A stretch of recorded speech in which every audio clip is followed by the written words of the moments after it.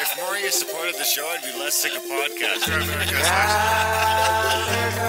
blah blah. The blah blah blah.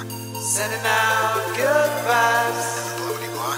good Blah vibes, blah good vibes, And the blah blah blah. good vibes, good vibes. Underneath breaths of deep gratitude and prayers for guidance and protection. And put on a didgeridoo and shamanic drumming track. Shivers or vibrations and stuff like that.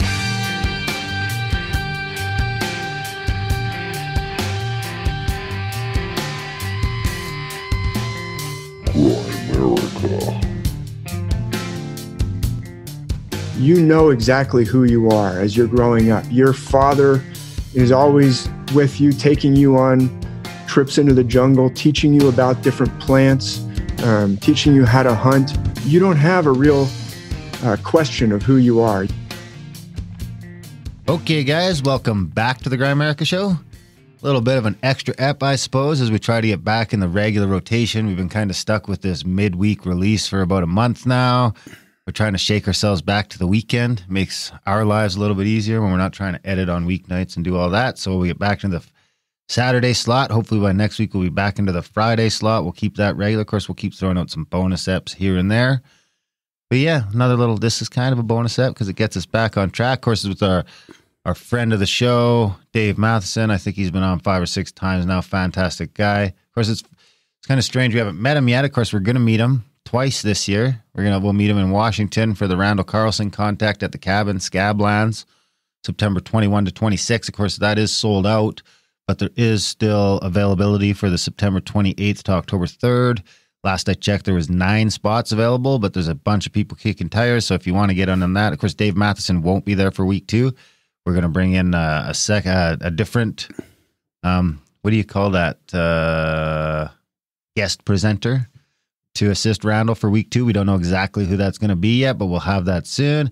And of course, we do actually have a some extremely limited availability due to a few cancellations. We filled up all the cancellations, I think, except for one private room, which I could maybe split in. I could throw an extra mat, floor mat in there and make it a twofer or something like that. But anyway, there's room for one or two people for that Utah contact at the canyon. Going to be a fantastic event. Of course, all that stuff, eh, all that info is over at contactatthecabin.com. Time to go check that stuff out. I expect all that stuff to be sold out by the end of the month. I mean, we sold probably like 15 tickets last week for the Randall event. So get on that before it's too late. Yeah, we'll uh, do a little intro here to get into our chat with Dave. We got Graham Nipples Dunlop over here. How's it going, buddy? Hey, buddy. Good. I got them calmed down today. I don't want to excite down? you at all. Put some band aids over. I went over the in the chats and I'm seeing all this nipple talk, and then I'm thinking back to when you're making comments about my nipples at work. I'm like, oh boy, Jesus. Oh yeah, no, the nipples things had nothing to do with you. Okay, good. Well, that's what you say. They're trying to figure out a way to be, pick a leader, and I just said, just go biggest junk for one, and then Vice's biggest nipples. Oh, that vice. I thought you meant like your vice, like No, vice, a like vice. vice you know, like president. that was your vice. I misunderstood that whole thing. I, oh, you had to go back further. Okay, That's the problem with the chats. I went back pretty far, but Not quite far enough. not quite far enough. Grimerica.ca slash chats if you want to get in there. I think there's like 900 people. Of course, Discord is getting a little bit weird these days. Yeah. What I want to ask you some questions we about what you talked about earlier. that anytime. I can Really? see. What what was going on with that? Ryan was. Uh, Oh, I don't know. I think stuff. their Discord's just getting weird. They're trying to transition from gamer into like social media platform. I mean, they must Didn't be that already making- organically happen with everybody like in it. the Discord channel? I mean, they, they must be making money hand over fist. Those guys, and I think they're trying to get in on some of this work from home stuff and market to that crowd, maybe. But I don't know. Our Discord days could be numbered for sure. I mean, there's definitely enough stuff in the back catalog that goes against the grain that we could kicked off any of that stuff. At yeah. any If, time. if other people are getting kicked off, I mean, I can't imagine what they're doing yeah. that would be worse than us. I mean, I know I was saying there was like not that I'm saying it's 12 bad at all, but it's bad in the in 12 of the different kinda like- discords he's been in have disappeared. Really? Yeah. Holy! What? Yeah. I don't know what discords he's in, but That's why the Knights it's of the good to Round know. I mean, we've I- got a full backups chat server built. Yeah. This is why people need to sign up for the newsletter. Yeah. Because if we ever lose our RSS feed or our social media or our chats or anything like that, we've got everything sort of in place to switch to our own servers at the snap of a hat. But how are we going to let you guys know? There'll be no way to let you know because that uh, the existing RSS feed will probably not be any good anymore. No, it would have to be by like Instagram or Twitter, and then who knows if that if you're on that, you know, that's why yeah, the newsletter problem, is the last line of defense. Yeah. If we ever have to switch the chat server and all that, it's all going to go out in the newsletter. This is why you need Yeah. to be signed up for the newsletter. There Yeah. should be 20,000, 30,000 people signed up for that fucking newsletter. And I think there's only 700. Yeah. Well, we haven't been pushing it at all either. I mean, it's just We've been pushing it for five years. not really on and off. Well, now it's important. Yeah. Well, yeah, yeah. But what are these people getting their discords down for? I don't Like, I'm not saying ours is like super risky or anything, but it's definitely just sort of free speech kind of thing. Like, Yeah. I, yeah, I don't know. there's not a lot. There's more mostly love in there in general, but things do get a little. You know, whenever you get into the dark path of politics, it kind of gets a little sketchy. It's tough to say. I don't know enough. I mean, I might be able to speak to it, but I don't know what. Uh, I mean, it just seems like they're just clamping down on everything everywhere. So I don't see why Discord would be any different, you know? Yeah. Well, uh, what did you? Uh, I got some questions about the Utah thing. So that's you're talking about the Star Star Myths Watch. of the World, the Star Yeah. Watch with Dave Mathisen, in two different locations, right? yeah. And that's the Ryan one. You think that's still Ryan. happening then, like with the borders and everything? What if things get worse?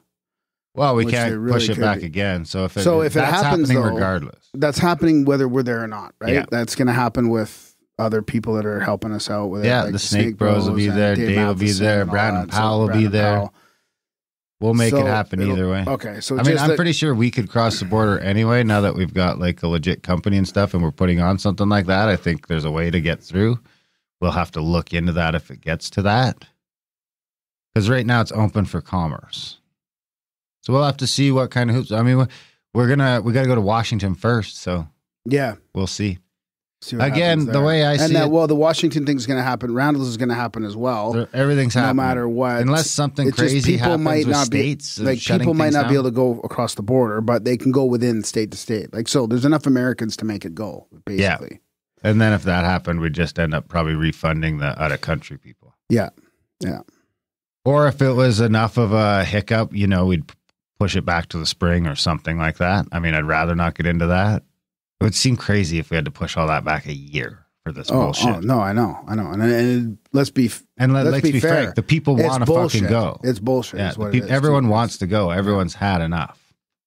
Of course, those Zoom calls have fired up. We did another one with Dave. We're going to do another one. We're getting the email list together for the Carlson Scablands tours. So we'll have some Zooms and we're, Oh, okay. we're cool. all ready to start getting Oh, in touch. cool. We started up the Mathisen Zoom calls again. So uh, if you're not in on those, shoot me an email. I'll make sure you get on the email list.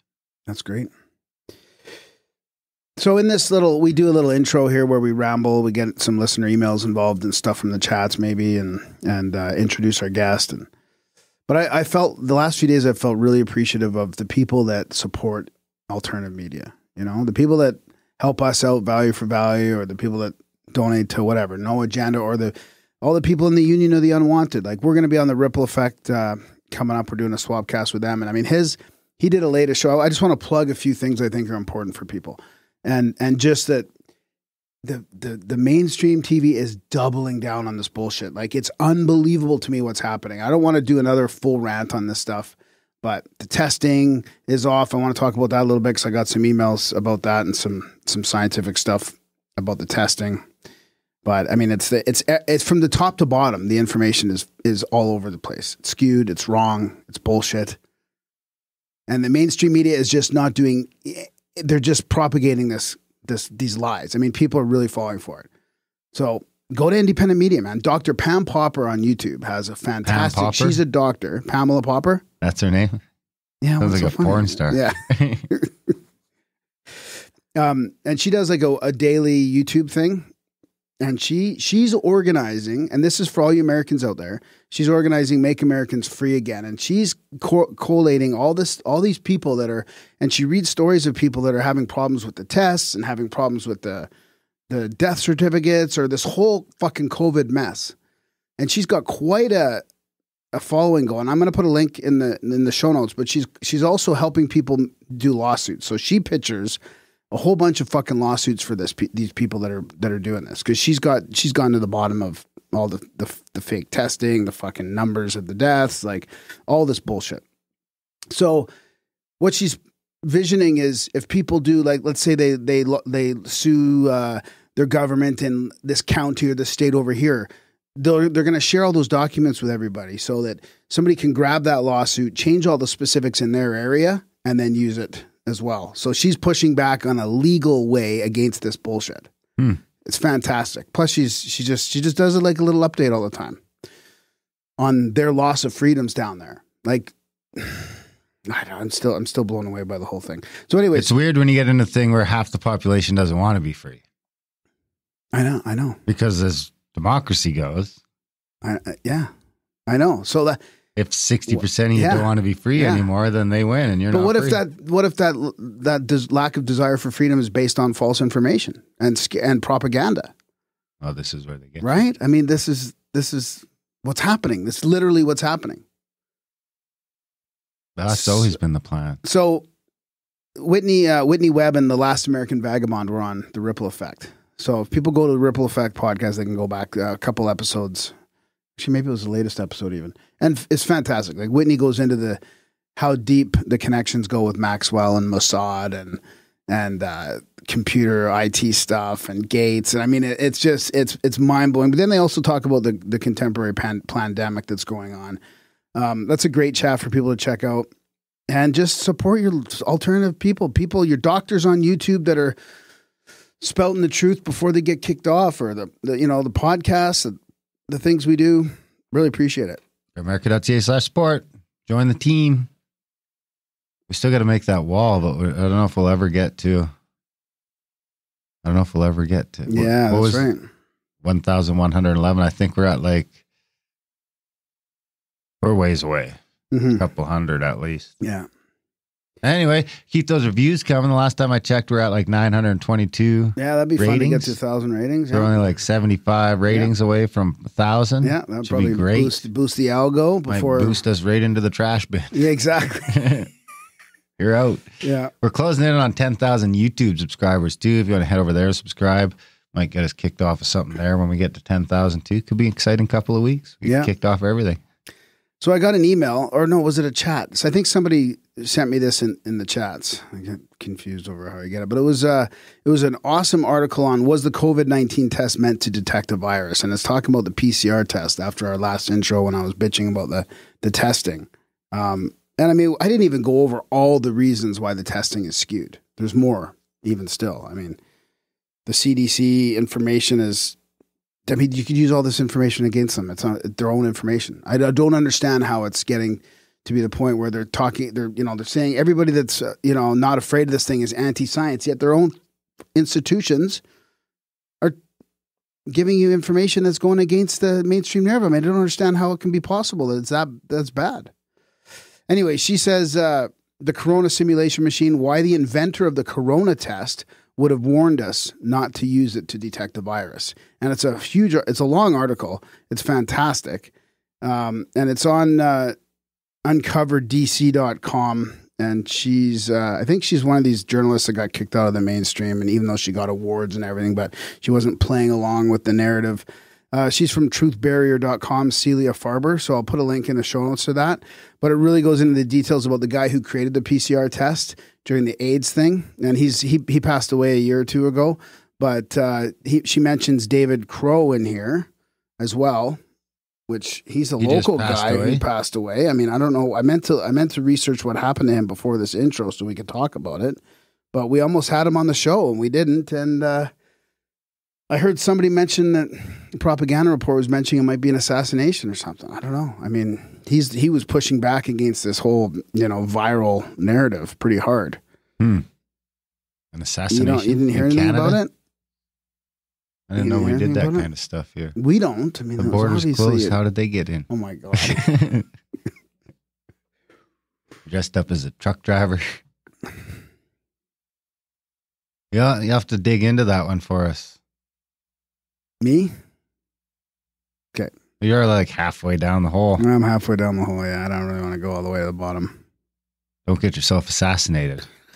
Well, it's pretty weird. When it gets pretty close to home when it's a local guy you were going to have on the show, and he's pushing back against viral nerve, and all of a sudden he's not alive anymore. It's Mhm. like holy fuck, you know. That's And then of course times. I was reading this from that person that forwarded it to me. I think it was Beth uh, Elizabeth, maybe in the chats, This is why Graham and- gets emails. and and and and the, the, this lo- this awesome article was you know starts mentioning him, right? I mean, it's it's yeah, it's pretty crazy. It looks really sketchy. I mean, the places can just change the range, the cycle range of the test, and it, it can just change the, the, the it can make positives way more positive or way more negative. I mean, it's it's so subjective and and um, ambiguous. It can it's shouldn't be used to even diagnose. I mean, it's it's it's a.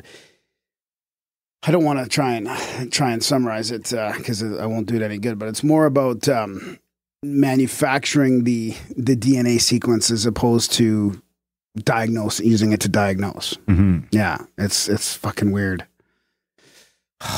Something's up with those tests because I mean, there's billboards all over Calgary that are just saying, "Come get tested." Had COVID, got COVID, no symptoms, symptoms, whatever. Just come get tested. Well, then people are saying Everybody come get like, I just heard from the last American Vagabond and, and uh, Ripple Effect that even if you've had the antibodies in the past, so if I've had it in the past, that's another test. If I tested positive now, that's going to show up as a new test, as a new case. Yeah, and it gets weird where they say the antibodies aren't. You, there's not going to be any herd immunity because the antibodies aren't good enough. But so their fake antibodies are going to work though. I, It's really starting to seem like it's just like how do you insert a new infectious disease? How do you you know they've got this vaccine game? They're making a ton of money, I know how you. but they're like it. they're out of diseases. I know how you so like, it. how do we add a new you, go- disease? you don't. You go with the old one that's always around. yeah, You always test a certain percentage of people. 10 years ago, five years ago, five years from now, you're always going to get a bunch of corona positive people. You know if what you it seems test like? enough. It's like the American, so the American so system fucked. of like scam science Yep. has taken over the world. Mm-hmm. because they've been doing this to their own people for tons for years, right? I feel like they're Yeah. just taking that big pharma's taking over the world now. They're they're done with America. they- they're not happy with Amer- just America anymore. And I mean, they had most of us, but I really feel like now they're they've finally got the ability to like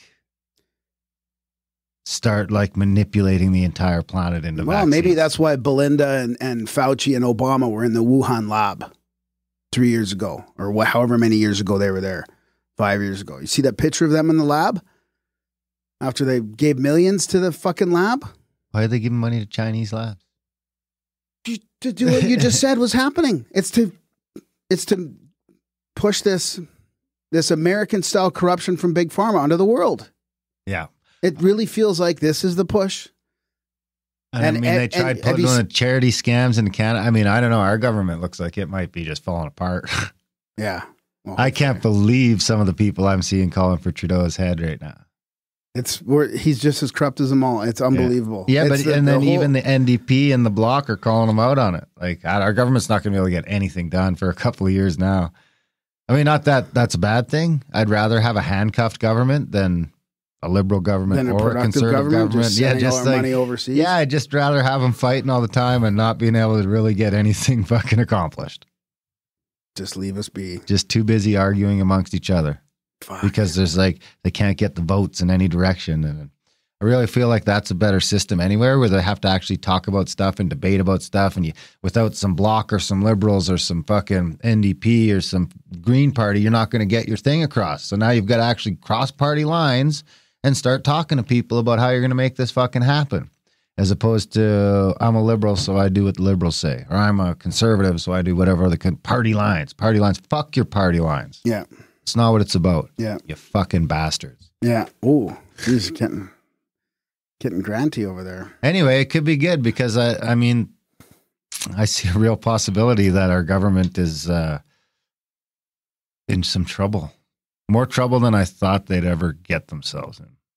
I was actually looking to see if I still had the. Uh, remember, we used to have that old Graham rant jingle. Yeah, I don't think I see it here anymore, though.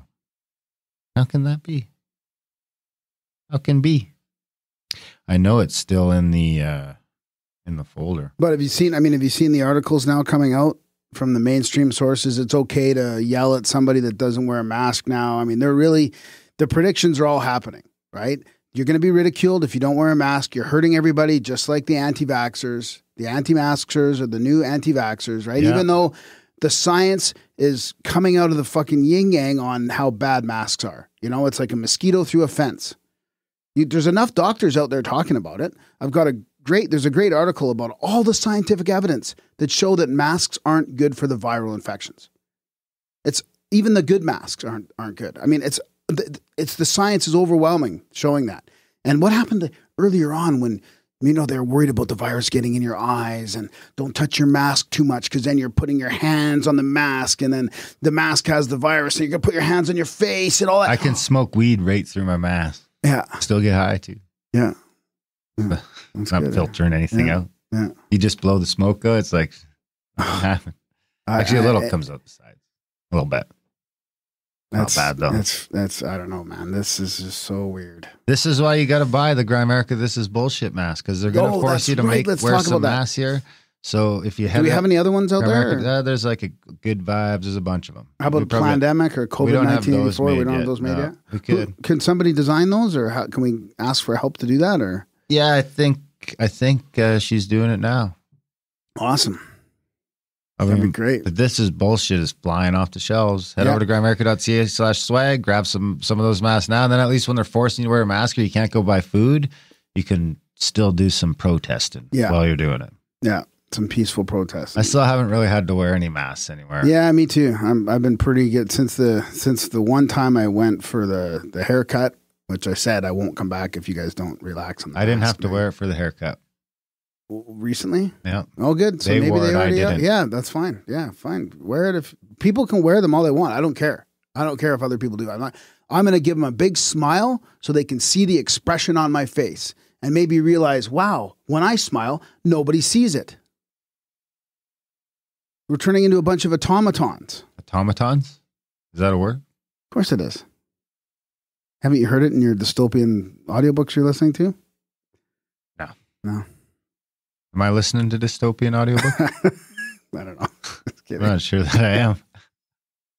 Isn't Dune kind of like that?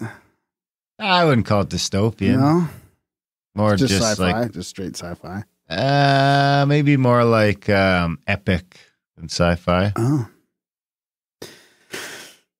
So yeah. Anyways, enough of my rant. I just I I feel like people uh, they're stuck in their bubbles and there's no there's no getting through to the people that don't want to be get getting through to the people that are saying you know you think the surgeons are wearing mat you know the people that are using the memes the other way. It's just I don't know. There's no getting through to people. So I've almost been able to fully replace my entertainment with audiobooks now. yeah.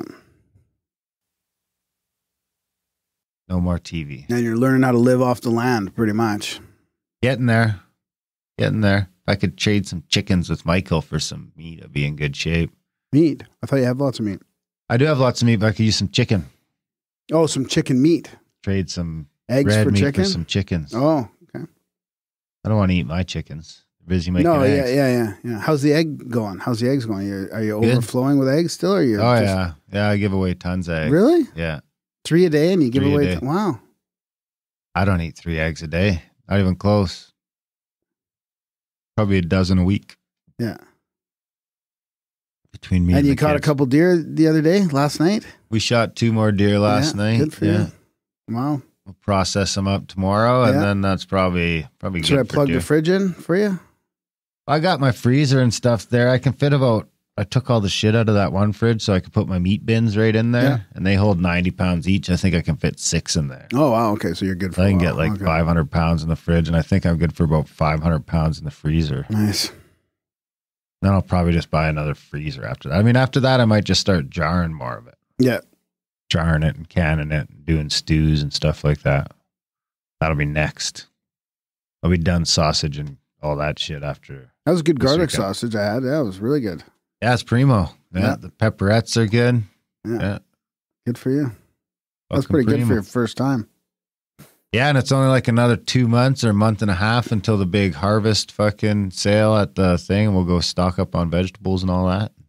Away we go.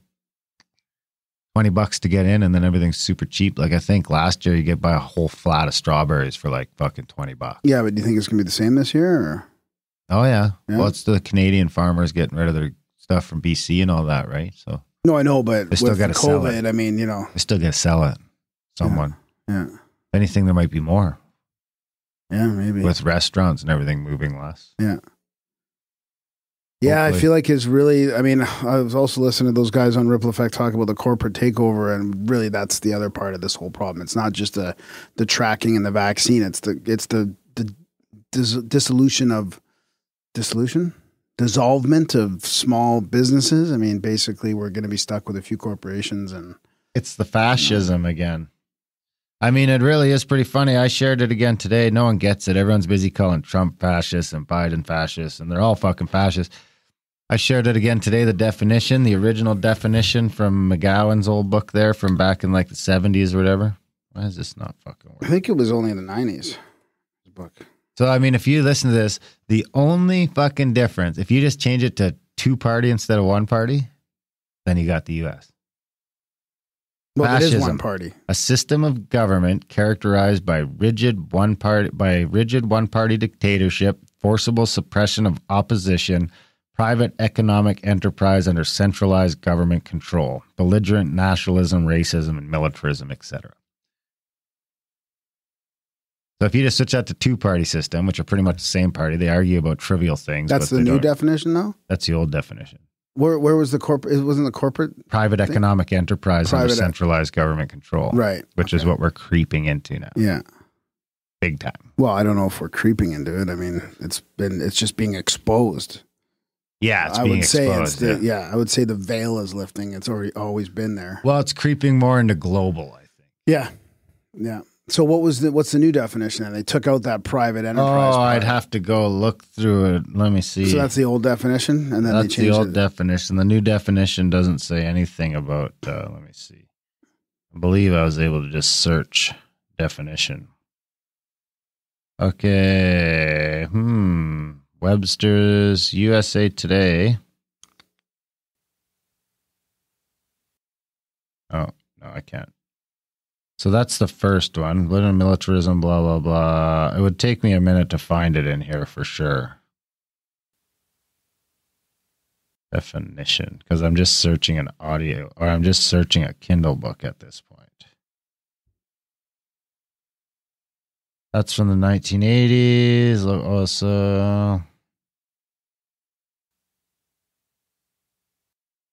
okay, so maybe this is the one that has the new definition. No, I feel like we're getting this isn't working out. Yeah, let's just let's just not get into the new definition. But But you have the trust. last, the last, the last um, paragraph of part one of his book. We could read again. For the corporate capitalist state and therefore the fascist state is inherently imperialistic. The unbridled greed for greater profits for the few fuels the need for conquest. New labor markets need to be oppressed and exploited. New resource markets need to be raped and pillaged, and new consumer markets need to be created. The fascist state cannot rest until it devours every available market. So the wheels of globalization, the media friendly euphemism for global fascism, fascism, fashionism, like fascism too. works too, will continue to spin. Yet, even as more and more of the world falls prey to the free market, new enemies will continue to appear, and American society will grow increasingly fractured and divided against itself. For that is the way it has to be. Wow, that's pretty good. Where was that from? That was from David's book David's book, yeah. that we narrated. It's in the Yeah. Black Budget feed, isn't it?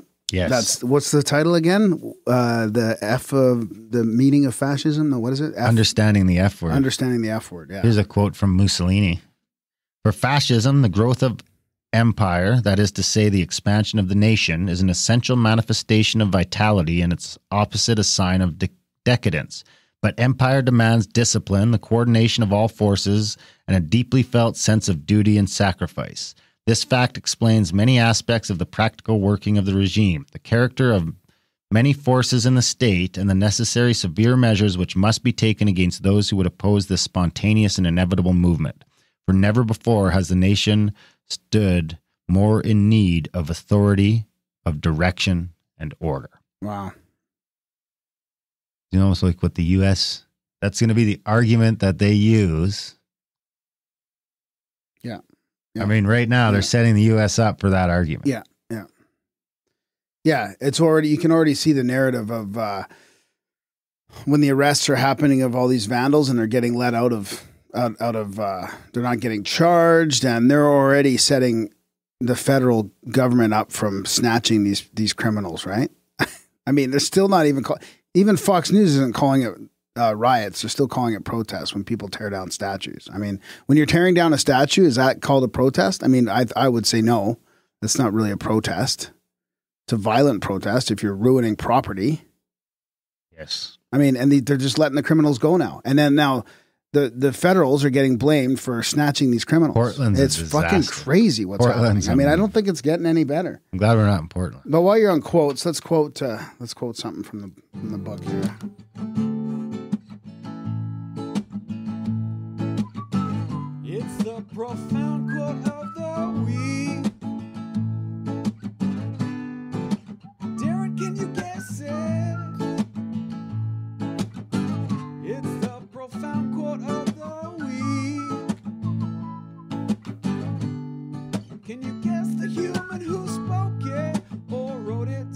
So governments are like primitive cannibals feasting on a great treasure trove of sheeple. You can't force them out and you can't vote them out. But you can sure as hell starve them out when enough people pick up and leave, essentially voting with their feet. It accelerates the system crash. That's where we're at now. that's, that's, that's People just choice. dropping out. Yep, you're gonna have to drop out. Arguing about it isn't going to fix anything. You just got to fucking no, because everybody's out. stuck in their their paradigms. I mean, people are gonna wake up when they wake up. And we all probably still got a little waking up to do of our own. Yeah, Just don't worry about what anyone else is up to. Worry about what you're up to. I don't know, man. It's a hard it's a hard one. When you can see the hypocrisy and the And police, lies, it doesn't mean you know the truth. Well, if you see the lies blatantly, you can just shouldn't do, do you have a, maybe some I think just You being know, the point out those being- lies, living your best life, Yeah. and just that's lead by example. I mean, if you're if you're the collection of the five or six people you spend the most time with, then you're just you know, you'll change your group and it'll slowly work its way out. I feel like just trying to change people's minds is just like doesn't work.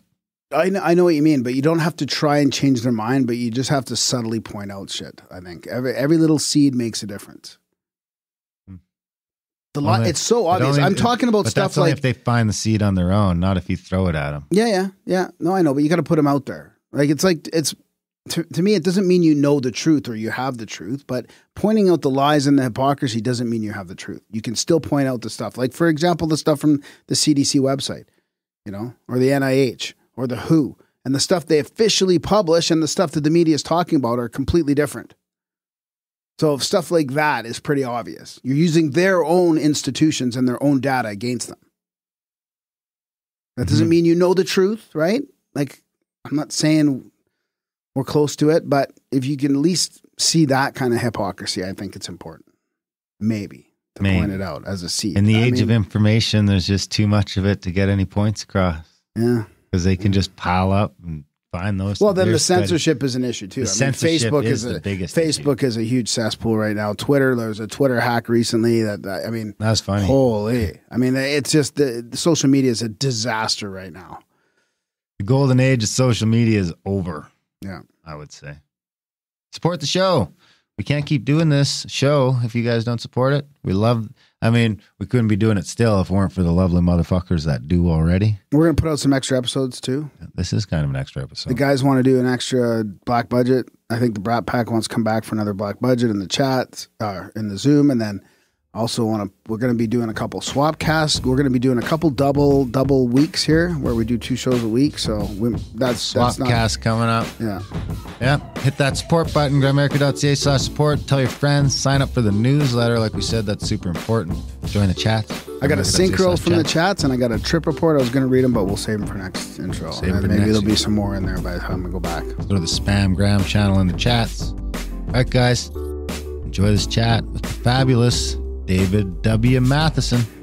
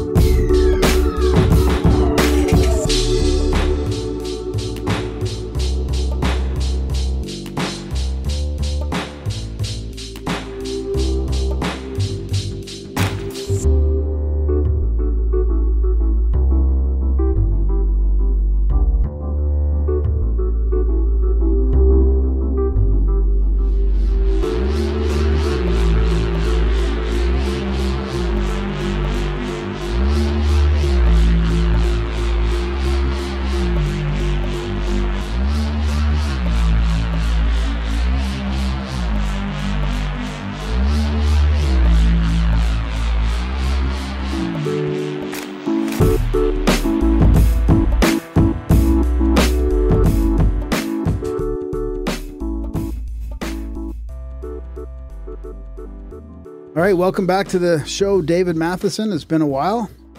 Dave's been you. studying the world's Great myths and scriptures and sacred stories and kind of coming up with a celestial metaphor in his latest book, Myth and Trauma, how appropriately titled for this uh, 2020 Higher Self, Ancient Wisdom, and Their Enemies. So thanks for uh, writing another tome, David, and coming on the show.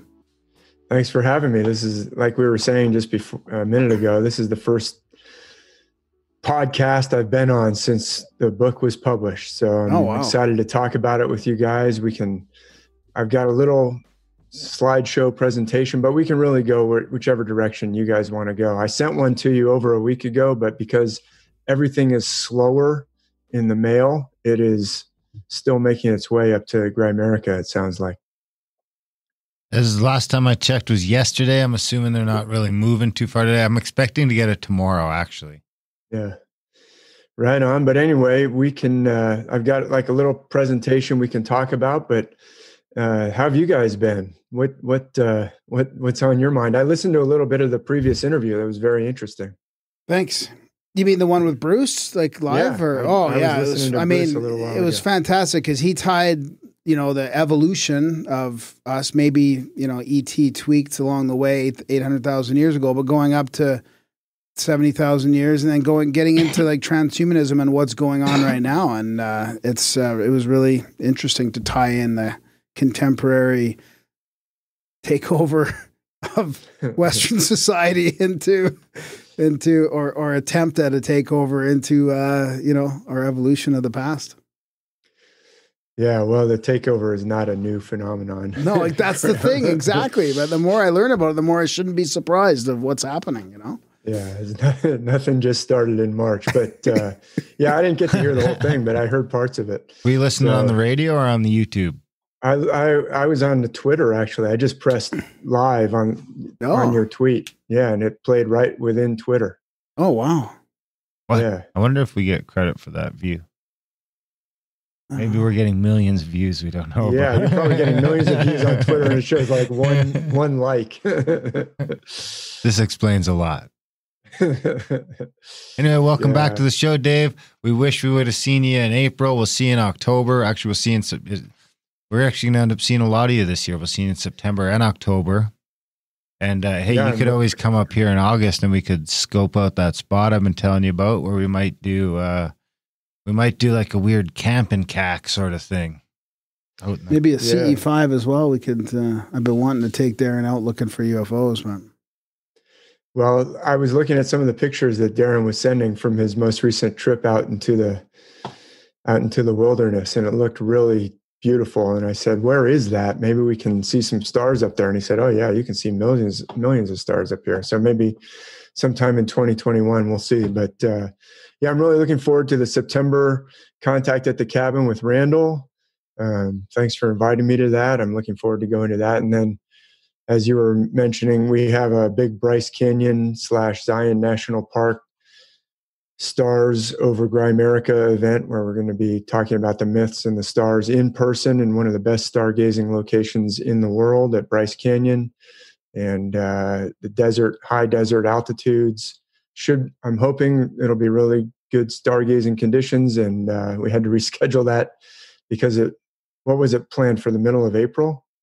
Supposed to be April 16th to 19th. Yeah. It was supposed to be April 16th to 19th. So around March, we realized we had to push it back. So we found a good stargazing window in October. I'm really looking forward to that. And hopefully the national parks will uh, be open. Otherwise, we'll have to figure it out. But anyway, I think it's going to work. And I'm really looking forward to that. So As long as they open up the imaginary line here between here and there, then we'll be okay. and the Grimerica line is open, right? You guys have opened your borders or not? oh yeah, ours are always open. Yeah. Always open.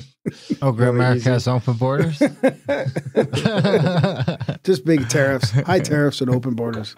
High tariffs, really strict customs. yeah. anyway yeah so we can talk about the new book if you want any uh anything else that's on your mind any questions from the chat rooms Well, but I I, can sh- i can share a screen whatever you guys want to Yeah, do. I don't know Go if we want to get into current to you in events and uh, and and No, what's going on down. don't. Are you in California? You're in California, right? i'm in California. I mean, I I'm don't in know. We can stay away from that stuff if you want. I mean, it's really all connected. But maybe let's talk about um, individual stuff. Maybe people are tired of talking. Yeah, about that the, sounds good. Yeah. the current events. Yeah. So let's let's, let's talk check out your slideshow and your books. I mean, really, everything, all the issues that we deal with, this is when we talk about trauma, this is issues that im- impacts everybody. We live in a trauma inducing society.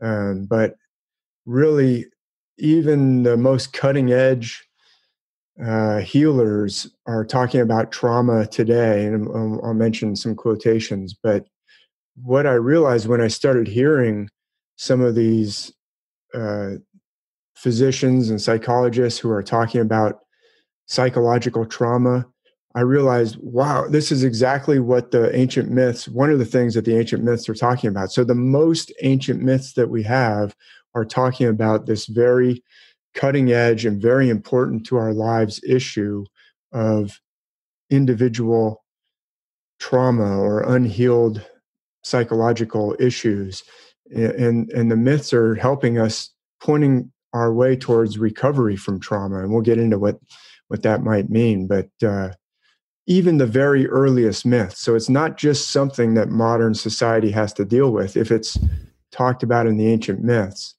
But i do believe that societies can be more traumatic or less traumatic and there is pretty good evidence that there are people who have designed traumatic events to traumatize people on purpose. So our society doesn't have to be as traumatic as it is, and it's getting more traumatic. If you look at the rates of things like depression, anxiety, people taking uh, psychotropic medication to deal with depression and anxiety, those numbers are going up at a very uh, startling rate, which shows that we're uh, we're having more and more of a traumatic society. and yet it Uh, shouldn't be because we're in one of the most safest times. Like things are things are generally, you know, in the in Western culture lifted up at least to the point where things should be less traumatizing.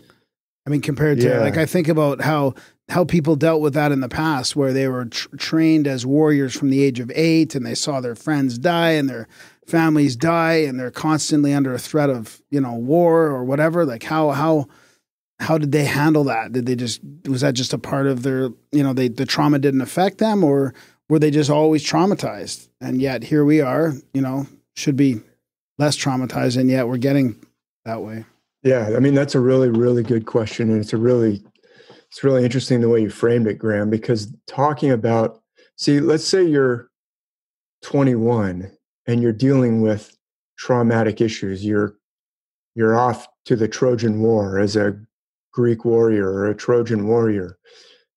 Presumably, if you've been brought up in a cohesive now, I think war is inherently traumatic.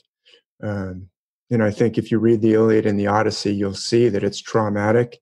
And the ancient myths are talking about healing trauma. But there's a difference between being a well adjusted adult dealing with painful or chaotic or uh, even physically violent situations and being a infant who is abandoned uh, when you're you're terrified in your crib and your parents have been told uh, just let him cry it out. That's good for the child to learn to just cry it out and shut up in their crib.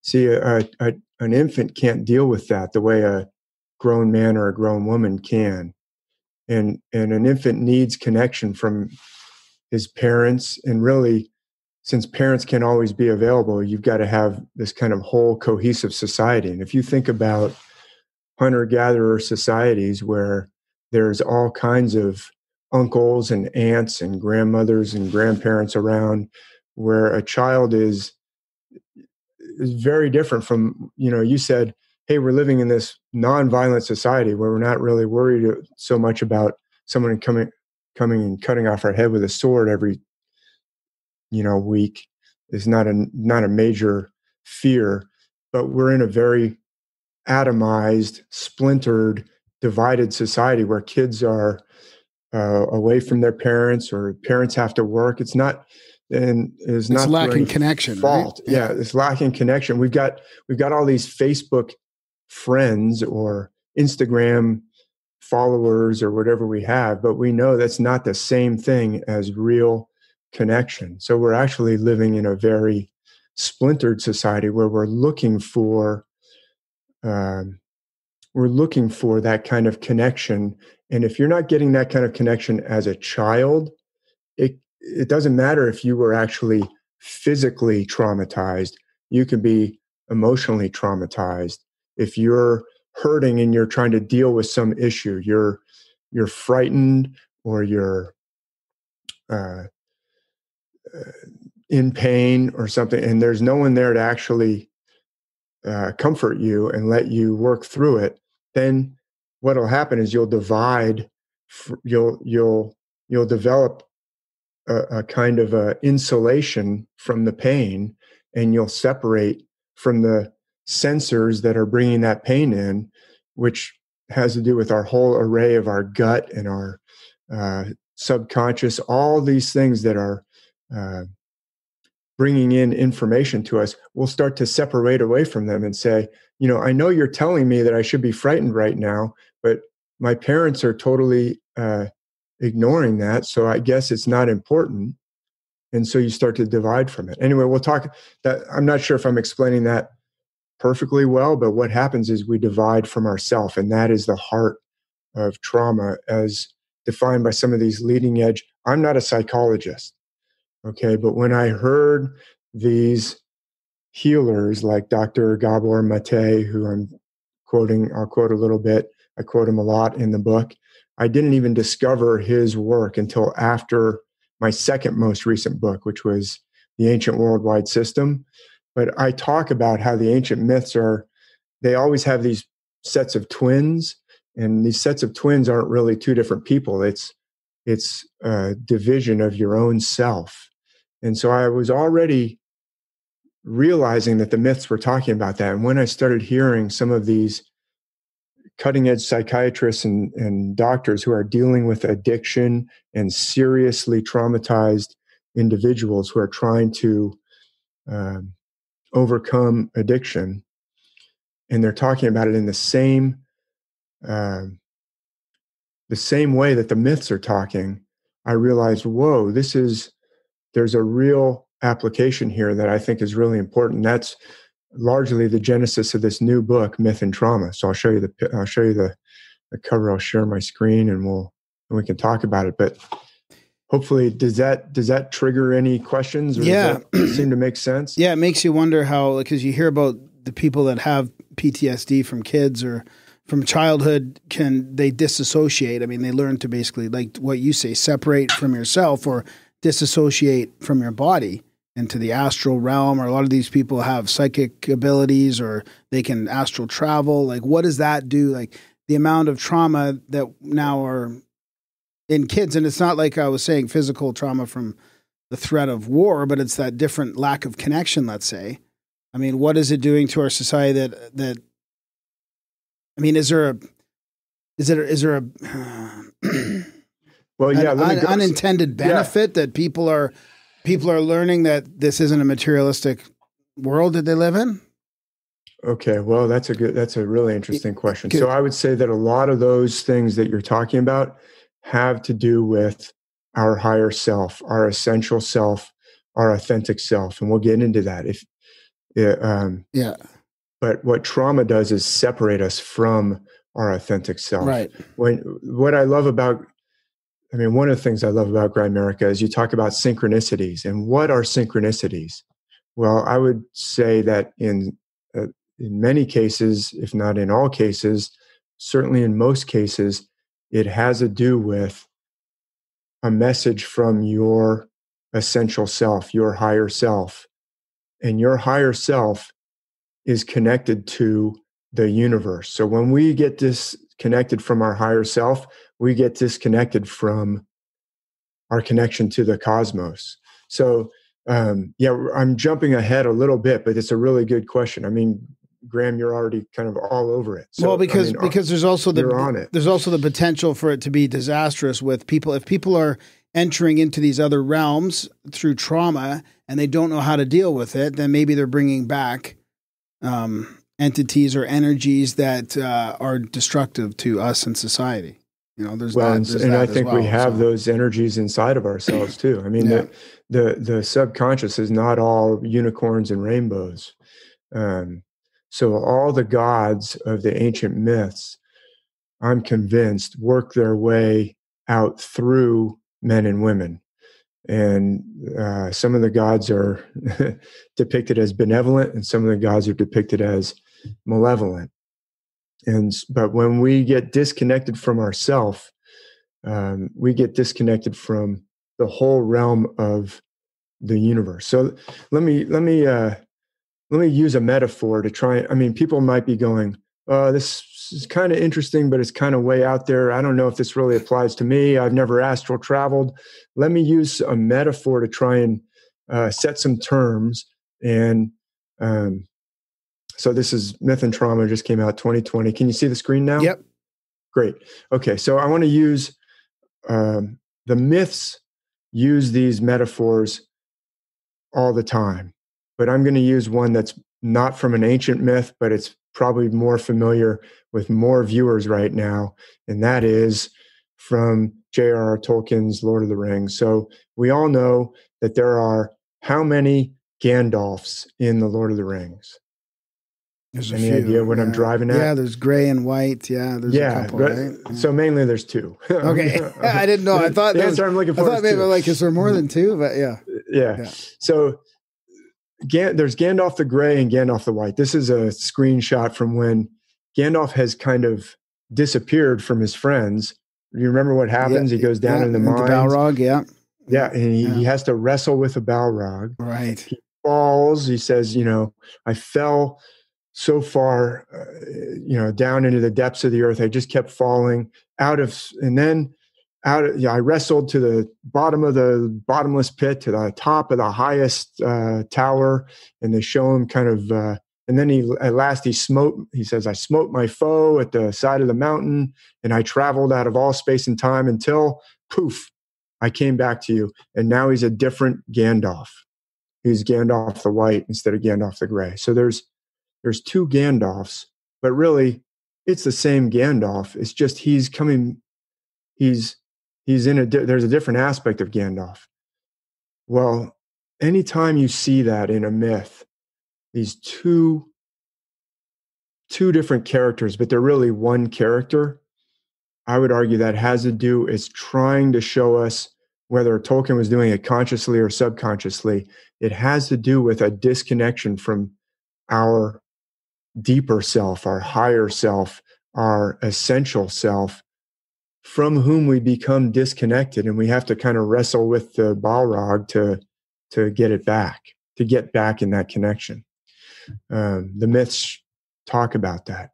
Uh, there's another character in the Lord of the Rings who has two kind of two aspects in one one character. Can you Frodo. Frodo's a good guess. he's kind of starting to he's starting to develop a second character, not necessarily a good one, but there's one who's like who's there's Boromir? one who's suffered a lot. Yeah, um, Gollum. I'm thinking, No. yeah, he's got like definitely two personalities because he's he's suffered a lot of trauma or a lot of disconnection, a lot of loneliness. Right underneath the mountain, he's down there all by himself. He's he's his mind's kind of gotten taken over and there's and then he has these arguments with himself sometimes in fact he's always talking about himself in the sec uh third person. yeah. first person plural Yeah. like Yeah, we or us right. it hurts us it hurts us Yeah. right so the Gollum character is so what i'm trying to explain is we have a we have like a higher self that we've become disconnected from because of trauma and we have this kind of defense mechanism that we develop because of trauma. And that's the Gollum character. There's like the the sweet smeagol character and then he's totally dominated by this Gollum character. And the Gollum character remember when smeagol says hey master master helps us. I, we can't strangle him in his sleep you know? And and then go, the golem character says nobody likes you. Nobody you know you're a murderer i saved us i'm the one who got us through this remember that Yep. scene he says you know, where would you be without us? Where would you be without me? I saved us. That Gollum character is a defense mechanism for dealing with the the pain, the trauma of the world. We can talk about different forms of trauma, but actually in the society that we live in, almost everybody experiences some kind of trauma. And it's not because your parents weren't weren't loving and caring. This is all I'm repeating the words of Gabor Mate. I'll show you some uh, Gabor Mate. Sorry, I'm uh, pronouncing his name wrong, but uh, Gabor Mate talks about it's not because your parents didn't love you, but it's because of we're in a traumatic society. They may have anxiety that gets that you pick up on, and you develop a defense mechanism that's like the Gollum character. It's like uh, it's like a, a tough persona that you that you don't even realize that it's kind of taking over. And what it does is it kind of buries the essential self. So this is a quote from Dr. Gabor Mate. And he's uh, he's a physician who was born in Hungary during World War II, during the the Holocaust, and he was Jewish, and so he experienced childhood trauma. And then he lives in Canada. So I'm pretty sure he still lives in Canada, but he worked with um, the addicted uh, people who have bad addictions in Vancouver, um, in British Columbia. Yeah, good book. Very, very high. Yeah, the the Realm of Hungry Ghosts. yeah. yeah. So he talks about trauma as a lot of people focus on, well, oh, I didn't have trauma in my childhood, or I wasn't sexually abused or emotionally abused. But he explains it's not necessarily, uh, certainly, there are, those are traumatic and those can cause you to disconnect from yourself. But there are all kinds of things that an infant or a one year old or a two year old or even a young child can experience. Some kind of societal uh, angst or really uh, you know rejection from your friends. And if if you don't have adults that are there to help you understand it you can disconnect from who you are or you will without even knowing it. It's a disconnect from you're getting these signals and you're and they're they're overwhelming you you don't have anyone else to help you you will as a defense mechanism disconnect from those signals from from where those signals are coming from. And so you'll start to turn off parts of yourself because it's too painful. So the trauma is not the the things that happen to you the trauma is what happens inside of you. Not not the external things because even if you can if you're a, a well adjusted let's say you grew up in a perfectly loving uh, let's think of like a a very tight tribe in the amazon somewhere where you know exactly who you are as you're growing up. Your father is always with you taking you on trips into the jungle teaching you about different plants um, teaching you how to hunt you don't have a real uh, question of who you are. You you're you're interacting with your peers, but they're not making fun of what you're wearing. There's meaning in their lives, it seems. There's yeah, and you're very and, and if your dad is gone on a hunting trip, you've got an uncle who takes you under your wing, or you've got other adults around, and you're very secure in who you are. You may encounter as a 18 year old or a 21 year old a dangerous situation. Maybe you're walking through the jungle by yourself, far from everybody else, and you fall off a steep cliff and you're hanging by a, you know, a vine. But you are in tune with who you are. You're able to tap into a much wider range of of your entire self to get you out of that situation. You're gonna be in a lot better situation than someone who's disconnected from themselves and goes into a panic mode and can't and has already been cut off from a whole range of um, who you are, of of what your body is telling you. Uh, I mean, this is just a, a metaphor I made up on the spot. It's not in the book, but but I'm trying to answer your question, Graham, that you asked about, you know, back in the ancient times, there was so much more violence in the world. But if you were more connected with who you are, you're more able to handle uh, traumatic or or painful or chaotic situations as an adult. So it may not even be that the world around us is more uh, difficult than the world of, let's say, the 1920s or the 1930s. But if all the people in that era grew up in a much more, I don't know, uh, supportive kind of childhood, and they're they just have a much deeper connection to who they are, they're probably able to handle those more resilient, yeah. Than today, right? Yeah. And it also, Gabor Mate talks about if you're a very sensitive person, some people are more sensitive than others. Sensitive, creative uh, children will feel uh, emotional pain more severely than you know someone who maybe not be as sensitive. So it's different for every person, but that trauma that you go through or the, the trauma is the disconnection it's the reaction to what you went through so you shouldn't compare well i didn't go through something as bad as you know my friend who was uh, always beaten by their dad uh, my dad never beat me so my my situation you know you can the trauma is what's on on the inside the disconnection and that can happen to you even if you grew up in a perfectly loving environment. So um, that is how we disconnect from the essential self and the the we develop this Gollum persona or I, I use the Gollum character as like a metaphor for this egoic mind this doubting mind that's always like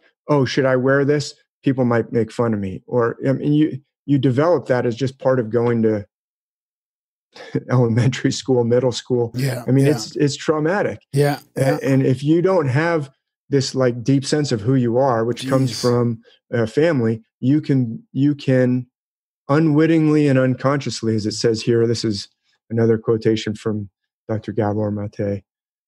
If our environment can't support our gut feelings and our emotions, then the child, in order to quote belong and fit in, which we all recognize this because Western society does this, then you're going to suppress your emotions, your connections to yourself for the sake of staying connected to the nurturing environment, without which the child cannot survive. Wow, that's a great example, the school, because I was trying to think of what, uh, you know, in ways where we are traumatized or, or the way we deal with these things in the wrong way and school would be a great example. I mean, that it, everybody has this issue in school for the most part. I mean, most people. I mean, it's it's just a.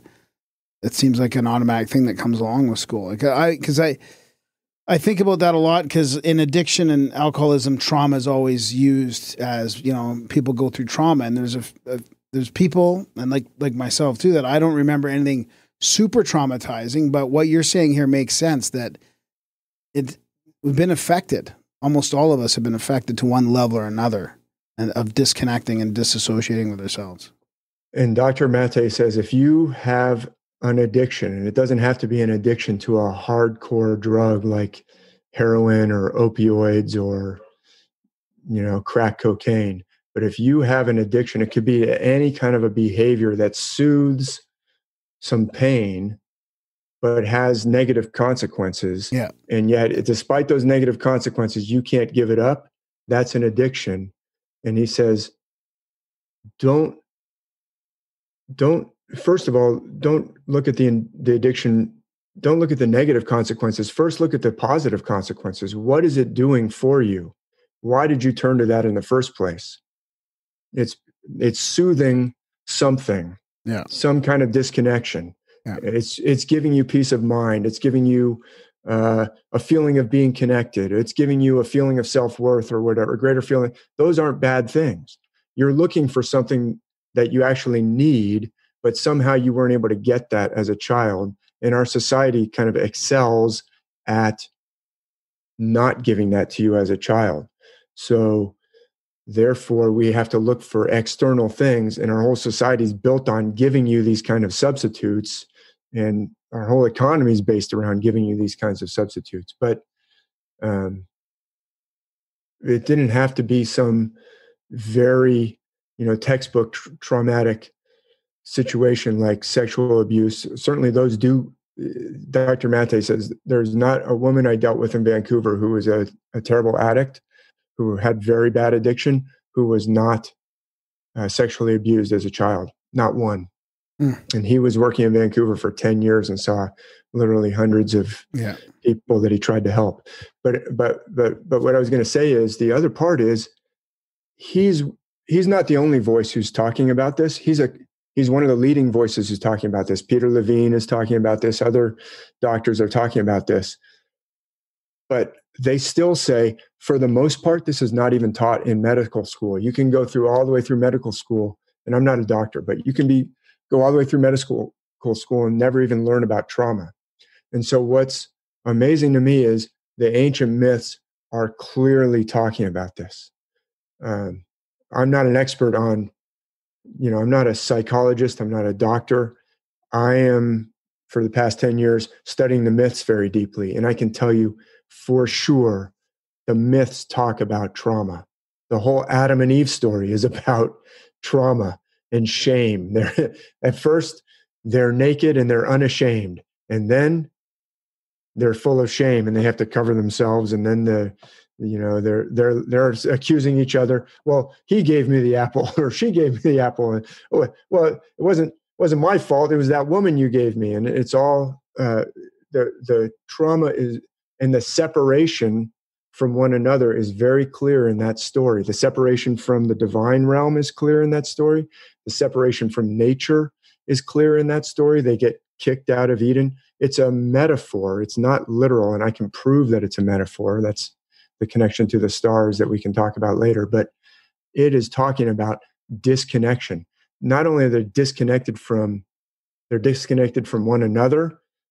Before they were loving together unashamed naked. They could see who each other was completely, completely naked and yet unashamed together. And now all of a sudden they're accusing each other, they're separated from each other, and they're even separated from themselves. They're, they have shame in who they are, and they can't even, uh, and they're disconnected from the divine realm as well. So uh, the myths I can show you from, from, uh, myths from ancient Egypt, myths from ancient Mesopotamia, myths from the Americas, they are talking about trauma and how to overcome it. And yet they've been twisted, as you mentioned in the, the subtitle of the book, is ancient uh, higher self, ancient wisdom, and their enemies. These myths have been twisted into something that actually, I laugh, but only in a uh, cynical way, um, not in a joyful way. They've been twisted into something that actually uh, inflicts trauma on people uh, you know, oh, original sin, you're going to hell, and and uh, we have the right to dominate these other cultures that don't believe in this myth or that myth. So they're actually there to help us, but they've been twisted into something that that actually makes our world more traumatic. So that's what this book's about. What what are some of the, what are some of the other examples then, like the Egypt or the uh, yeah we'll get we, I'll, I'll show you a couple um Yeah. but this is the uh yeah let, let me show you a couple but this is kind of the picture of the separated self the uh that i just created based on this metaphor of the two people uh that that are in one person. Now i know in the tolkien it's not Gollum and gandalf are not one character but we create this persona this defense mechanism and we bury our essential self because our essential self being connected to ourself is too painful because our self is telling us hey i want you to express i want to express myself this way and when you go to school and you get laughed at uh, expressing yourself that way you're like okay i'm going to bury that part of who i am and so um, now I'll show you some myths. Th- this is a, a Tolkien um, mm, version of that dynamic going on. But we create this Gollum persona, and we don't even like the Gollum persona a lot of times. We're like, why did I say that? Oh, I hate myself. Oh, I Mhm. wish I could get rid of. I wish I could get rid of that aspect of me. Just like Smeagol tries to do. He says, "Go away and never come back." How's that work? Doesn't work out at all right? He's like, he, te- he tells Gollum go away and never come back. Well, that's not how you get back in touch with your essential self. You can't just destroy this persona that it was created as a defense mechanism and it doesn't just go away. But the myths show how to get back in touch with your essential self over and over they show it. So would you would you say that when you say essential self is that the same as higher self and authentic self? Yeah, I use those terms uh, interchangeably? interchangeably. Okay. Higher self, even divine self. This is a picture of Castor and Pollux from the Greek myths. This is actually from a ancient uh, bowl, ancient pottery bowl. I just um, used some photo editing to put it in front of some stars. But those are the two twins, the Gemini twins of Castor and Pollux. And one of them, if you know the myth, you realize that one of them is actually mortal and one of them is actually divine. So I'm I'm answering your question, Graham. It could be called the divine self sometimes. It could be called the higher self. I know you're familiar with some of the Eastern traditions where they talk about Atman. Have you heard of Atman and. Brahman? And and there's a saying in one of the Upanishads that says, Brahman is all, and Atman is Brahman, which means, and I may not be pronouncing those exactly perfectly, like people go to school for decades of their life to learn Sanskrit and the right pronunciation. So apologies if I butchered any of the pronunciation, but higher self is sometimes called Atman or it's spelled like Atman, A T M A N. And it's, we each have this higher self, and yet it's connected to the whole universe. Brahman is all, the divine is everything, and yet Atman is Brahman. So there's a, a piece of the universe in the higher self, or the essential self is connected to the cosmos. And that's how you hear the voice of the gods, or that's how you get that message that some of your some of your listeners have sent in synchronicities where they've said, I just got this feeling to step on the brakes. And if I hadn't, that truck would have just T-boned me. Well, where did you get that little voice? It's tied in. There are there are examples where people have gotten a message where you could say, okay, it's your subconscious was, you know, your deep subconscious was able to maybe hear that truck approaching. Your conscious mind, your Gollum mind that was thinking about, uh, do I look good for this date that I'm on my way to? Is my hair okay? And did I wear the right shoes? It's not paying attention, but your deeper subconscious may have heard that truck and giving you, realizing that you're about to get uh, just splattered on the pavement, told you, don't go right now, step on the brakes. So we could explain that with the subconscious, but there are people who have gotten messages that can't even be explained by the subconscious, where they got a message from like about a friend who's in a totally different uh, part of the country, you know, thousands of miles away, and they they pick up the phone and and call, and they're like, "How did you know to call me?"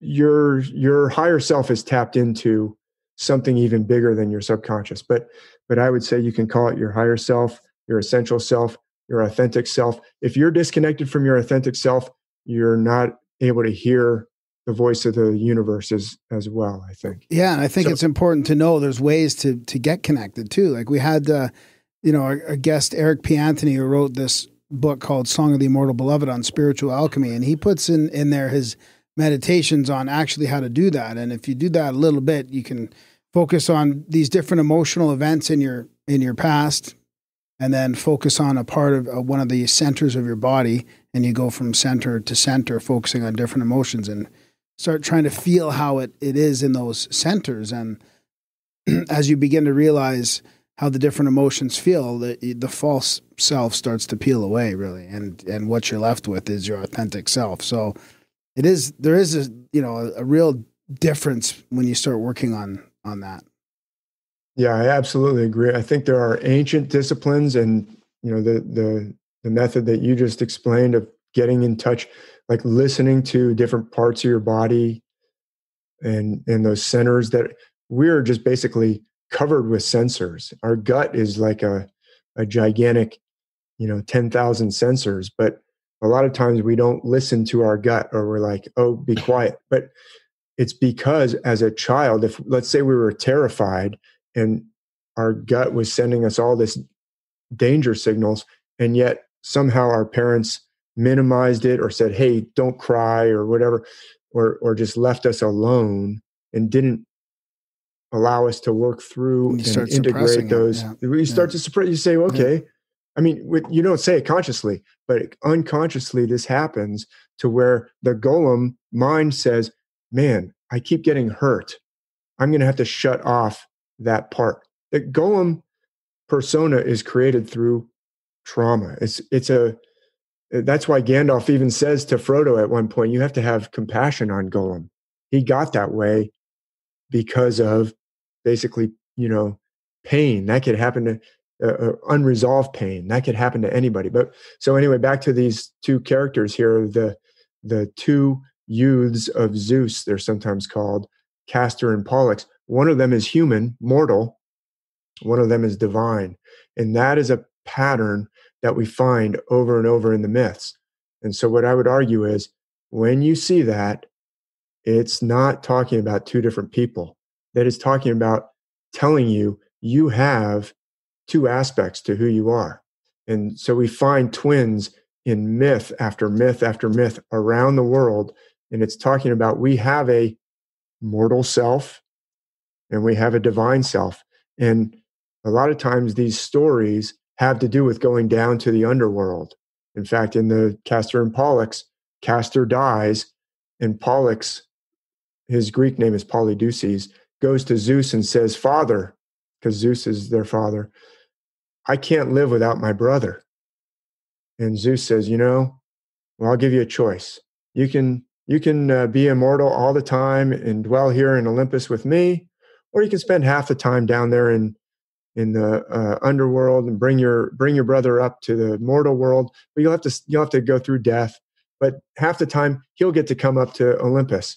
So it's it's talking about our our higher self is uh, raising our mortal self but uh, it, it involves going down into the darkness and i think a lot of that has to do with meditation or one it, it's down inside of ourself. That's where you find your higher self. That's where you get reconnected. I'll just uh, whip through. You can go ahead and respond to that. I'll whip through a few more.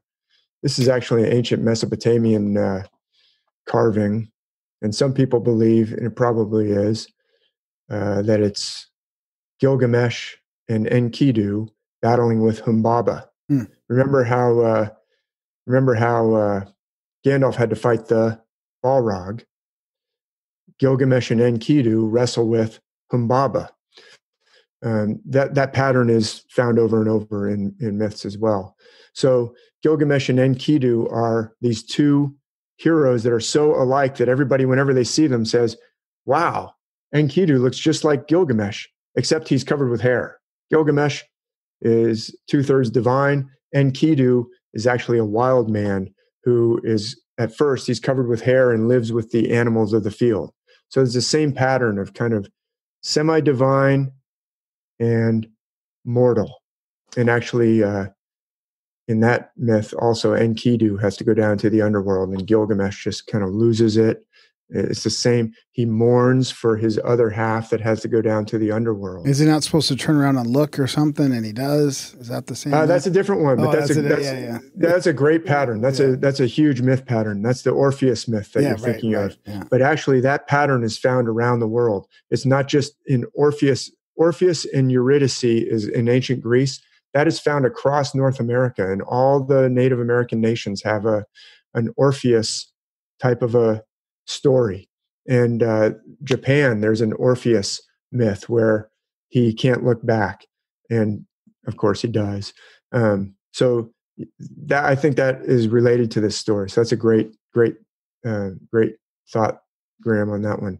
And actually i've got some slides later on. They're just like in reserve in case we talk about different things. I've got an orpheus slide that we can look at. But these are uh, speaking of the americas these are some twins in the myths of the maya so this is from central america the twins their names are Hunahpu and Xbalanque uh, they go down to the underworld as well, and they have to uh, they have to undergo these ordeals in the underworld and and pass all these different challenges that the the lords of the underworld throw at them. But it's a it's the same pattern that we're finding around the world. These twin pattern myths that I would argue are teaching us the same thing that I was trying to explain using Gollum and Gandalf a little little bit ago. This is a this is the engraving of this is a biblical story. I don't know if you guys are familiar with uh, two twins, and one of them is is giving away his birthright for a mess of pottage for that that bowl that's in his hand. There, he's saying, "Okay, you give me the soup, uh, you give me the the meat stew. I'll give you the birthright." Do you know that story? No. It's Jacob and Esau. Jacob and Esau. And interestingly, in the Jacob and Esau story, Esau is described as being covered with hair, just like Enkidu Hmm. in the Gilgamesh story. So it's another twin pattern myth that's dealing with the same pattern that we're finding around the world. This is actually probably can guess which hero that is on the left. He's got a lion's kind of skin over his head, and you can see it on around his waist, and he's fighting this monster with multiple heads. That's the famous hero from ancient Greece. Come on. He fights the Hydra. I was going to say uh, Hydra. Hercules. Yeah, that's Hercules. We we know him mostly by his Roman name, Hercules. In ancient Greece, his name was Heracles. We don't really know. Um, it's not as widely known, but Heracles is also a twin. Just like in the twin story of Castor and Pollux, Heracles has a divine father and uh, a mortal mother. Okay, you can think of another figure from the Bible who has a divine father but a mortal mother. We might get to that Jesus. That's right. But two for two. actually, in most of these sets of twins, the mortal father actually sleeps with the mother after Zeus has visited because Zeus doesn't want to be, uh, you know, doesn't want to be found out as having all these affairs. So he lets the mortal father come in later. And so usually there's a set of twins. One of the twins is the son of Zeus by the mother, and then the other twin is the son of the ordinary father, who's usually a king, but he's mortal. He's not Zeus. So in the case of uh, the divine twins, Castor and Pollux, Zeus comes down and uh, has an affair with this queen of Sparta.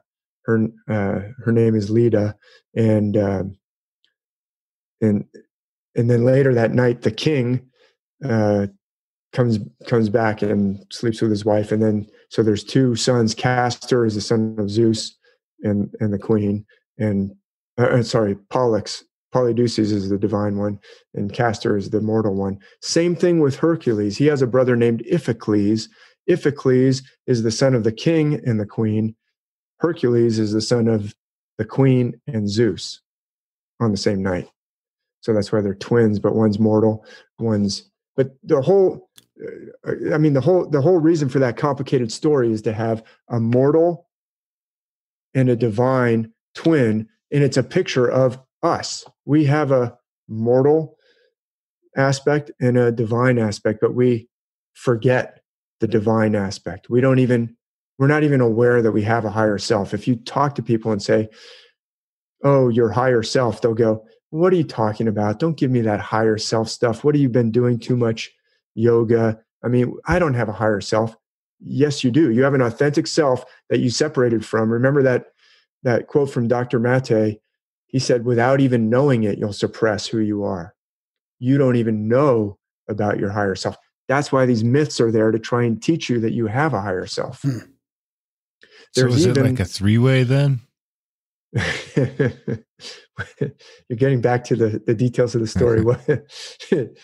They're not all there together. Zeus takes off and then he lets the king come back. Does that answer sure. your question? Does that answer your question, Darren? Um,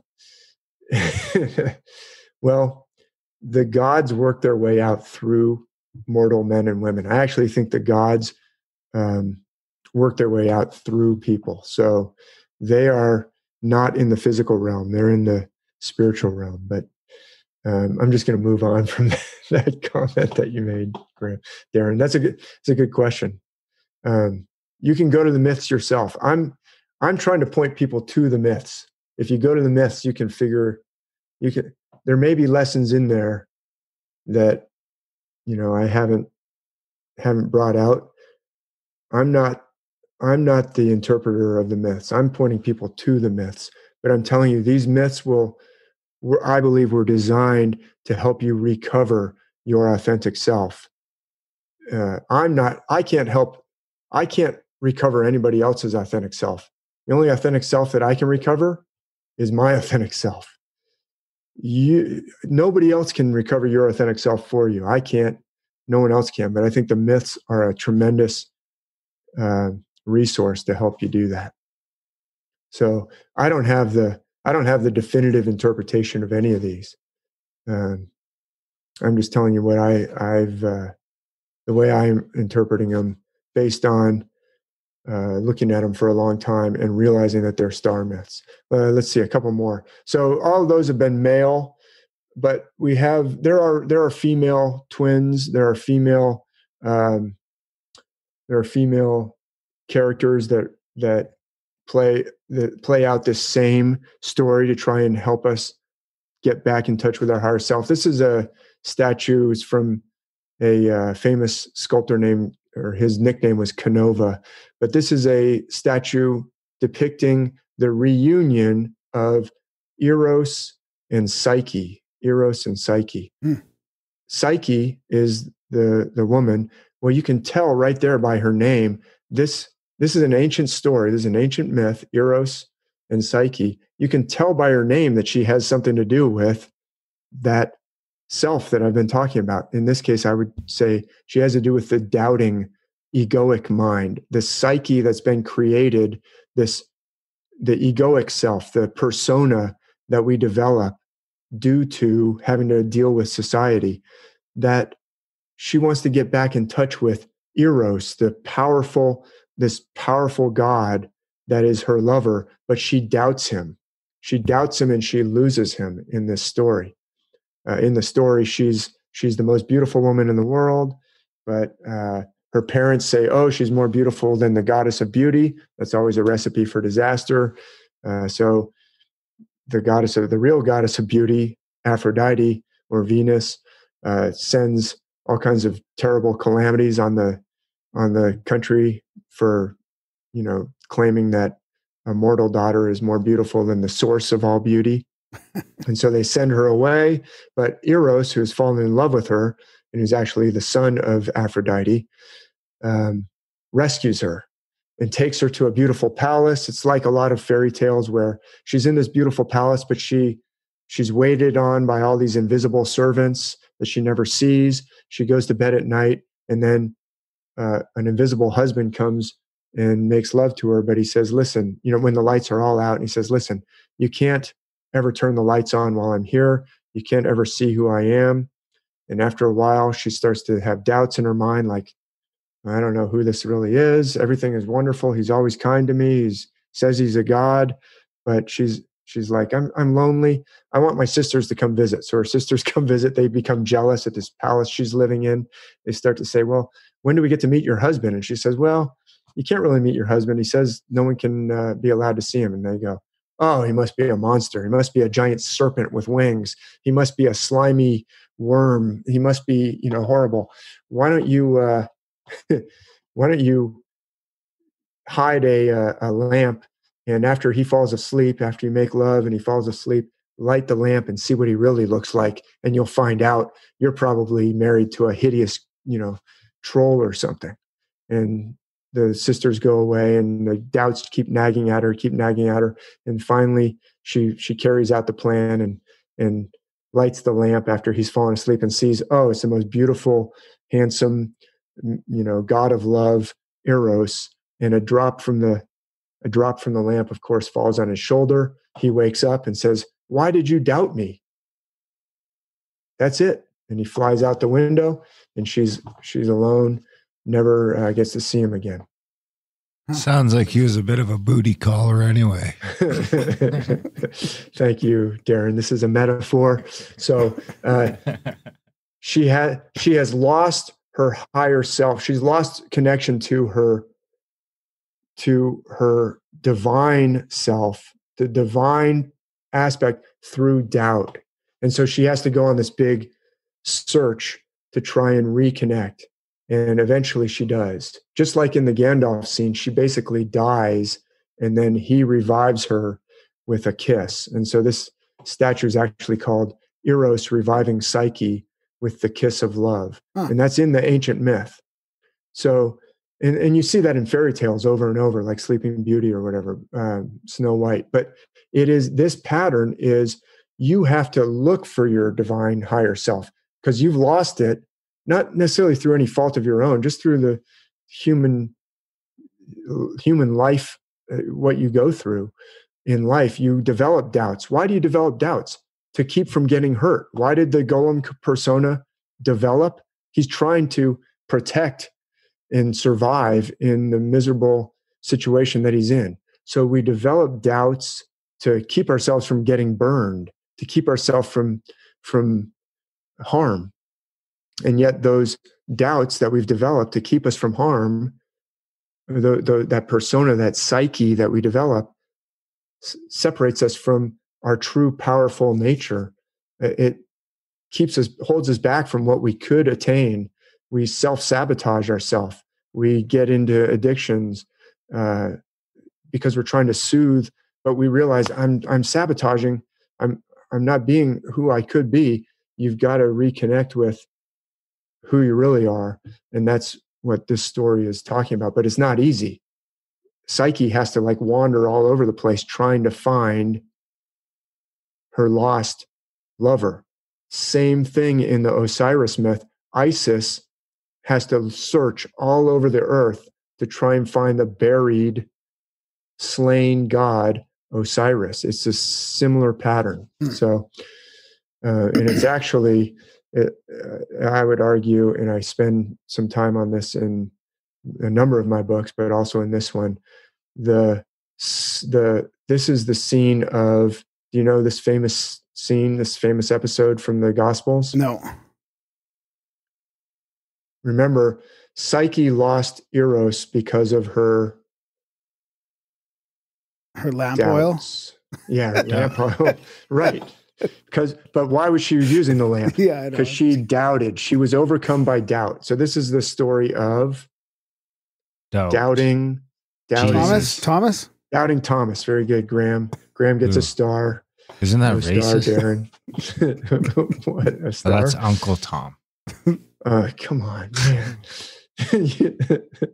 can you edit that part out of the live feed Which Uh, part? this is doubting Thomas. So yeah, but people who are named after Thomas are named after this is the Thomas is actually his he's called in the gospels Thomas the twin. Thomas the twin, which matches right up with the twin patterns that we've been talking about. So he's actually a very very important figure because he represents us recon- and how we reconnect with our higher self, our divine self. What keeps us back from our divine self is doubts, all these defense mechanisms that we're that have been created because of trauma, um, all these uh, even subconscious. Uh, uh, we're not even aware of them, but, but he's he he's told oh, you know, we've seen the risen Lord. And he says, oh, I'm not going to believe that. Well, why does he say that? Because he's been burned too many times. He's afraid to, he's afraid to believe. He's afraid to love. This is all based on the exact same pattern of the divine twin and the mortal twin. And in fact, there's, there are some Gnostic gospels that didn't, that got excluded from the canon. In one of those, Jesus says to Thomas, Jesus is always having dialogues with Thomas. He says, Thomas, I don't want you to be ignorant of who you are. There are many people who don't even know of the divine nature. He says, Thomas, let me explain to you. I am your twin. You're my twin. So it's like I was saying, a lot of people don't even realize they have a higher self. Or if you start talking about the higher self, the essential self, the authentic self, their Gollum mind will laugh at you because it's like, ha, ha, ha, I don't want to hear about that. Hmm. I don't want to believe that I've been divided from who I am. It's too painful. The Gollum self wants to suppress the authentic self because the Gollum self got divided from the authentic self because of trauma. Being connected to the authentic self was painful for some reason. So the the the egoic mind wants to deny that there's even such thing as a higher self. And you see that in the story Hmm. of of doubting Thomas. So so that's uh you were asking I think Graham you said can you show some myths that talk about that? Well, so I, yeah, actually, well, I do have a question before I forget. Uh, um, the have you ever looked into? Have you heard of the myths of um, Dionysos and Bacchus, who were resurrected on March 25th, both of them? And does that have anything to do with this trauma at all? Yeah, so Dionysus is a super important god, and Bacchus is is the uh, Roman. That's the name is used more in Roman, but it's the same god. But you're right. There are actually there's there's actually uh, um, uh, there's a, a, a Dionysus who is burned up. There, Dionysus goes through not just one resurrection, but actually two different resurrections. Okay. he's torn limb from limb by uh, his brothers. He's the the name Dionysus. It's really interesting. Actually means Zeus, Dios of Nisos. Nisos, the mountain Okay. Nisos. Yeah. So Dionysus is the Zeus of the mountain of Nisos, and Dionysus is actually the son of Zeus. But um, once again, it's not. Zeus is married to the goddess Hera. That's his main consort. That's his main wife, if you will. But he's always having affairs, and so in uh, in in the birth of of Dionysus, it's the uh, the beautiful Semele or Semele. Um, Zeus becomes enamored with her, and and so they have an affair. And then she says, "Hey, I want to see you in all your glory. Can I see you in all your glory, please?" And there's actually a parallel to this in the Bible where Moses asked to see God in all his glory. But um, Zeus says, That would be a bad idea. You cannot see me in all my glory. It'll burn you up. And she goes, No, I insist. Actually, I think Hera, um, in the story, Hera finds out about the affair, goes to Sem- and says, Hey, is it true that you're with child by Zeus himself, the very god of the thunderbolt? Is that true? And Sem- says, Yes. The, the child I carry inside me is going to be the son of Zeus. And Hera, in disguise, says, I don't think that's possible that he's really Zeus. Another, the doubt motif is there again. Why don't you ask him to show himself in all his divine glory as the, the Lord of Olympus? Why don't you ask him to show, show him in that, show himself in that form? Then you'll know for sure if you're really married to Zeus. And Semele goes, okay. I didn't think of that.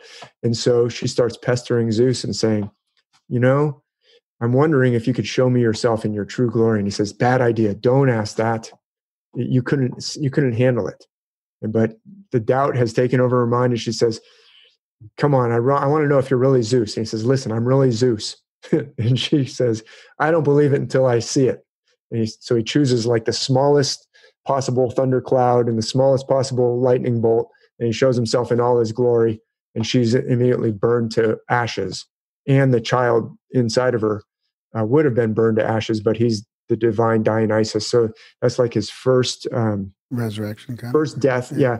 and zeus actually sews dionysus inside of his own thigh and then dionysus is born uh, a- after the full nine months is born out of zeus's thigh which is Wow.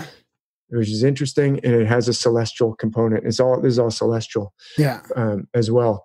So then the Titans are, I think, are the ones who are jealous of him next, and they tear him limb from limb, which has to do with the constellation that he's associated with, and then he's resurrected again. So Dionysus has uh, definite patterns that have some similarities to Jesus, and actually, if you look at depictions of Dionysus, he typically has the flowing hair and beard and um, youthful looks, and he's a god of wine, and Jesus turns water to wine. there's a, there's a lot of parallels throughout all the uh, myths of the ancient world. But I don't know if that addresses your question. yeah, or yeah, not. yeah, yeah. What about Bacchus? Well, so Bacchus is the the Roman name. There's actually a name for the uh, Dionysus before he gets torn limb from limb, and then he becomes Dionysus. And I can't remember what that name is off the top of my head. I think it starts with a Z. But um, Bacchus is another name for Dionysus. Oh, okay, okay. Um, but Because he but keeps there are coming different back. aspects. The- Yeah, good one. I give that one a, a seven point two. Yeah. Um, the uh, the uh, there are different aspects of Dionysus, like as a jolly kind of really drunk, you know, not not as youthful looking, more corpulent. That's how Bacchus is often depicted.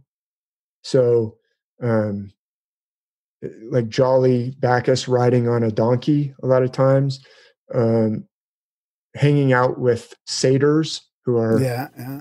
right so uh, in that aspect of so dionysus has a lot of different aspects in fact in one aspect he's even horned dionysus is almost like a head on top of a, a river uh, serpent um, and in, in that way he's actually associated with moses because Wow. moses is sometimes depicted with horns so uh, yeah dionysus is a super important god i mean he's the zeus of the mountain Nisus. So you know that he's a he's an extremely important he's an extremely important god if he's a Zeus, right? He's Dios, the same word Dios that we get, the same word Dios that is the word for God in Spanish is the same word as is in the name Dionysus or Dios Nisos.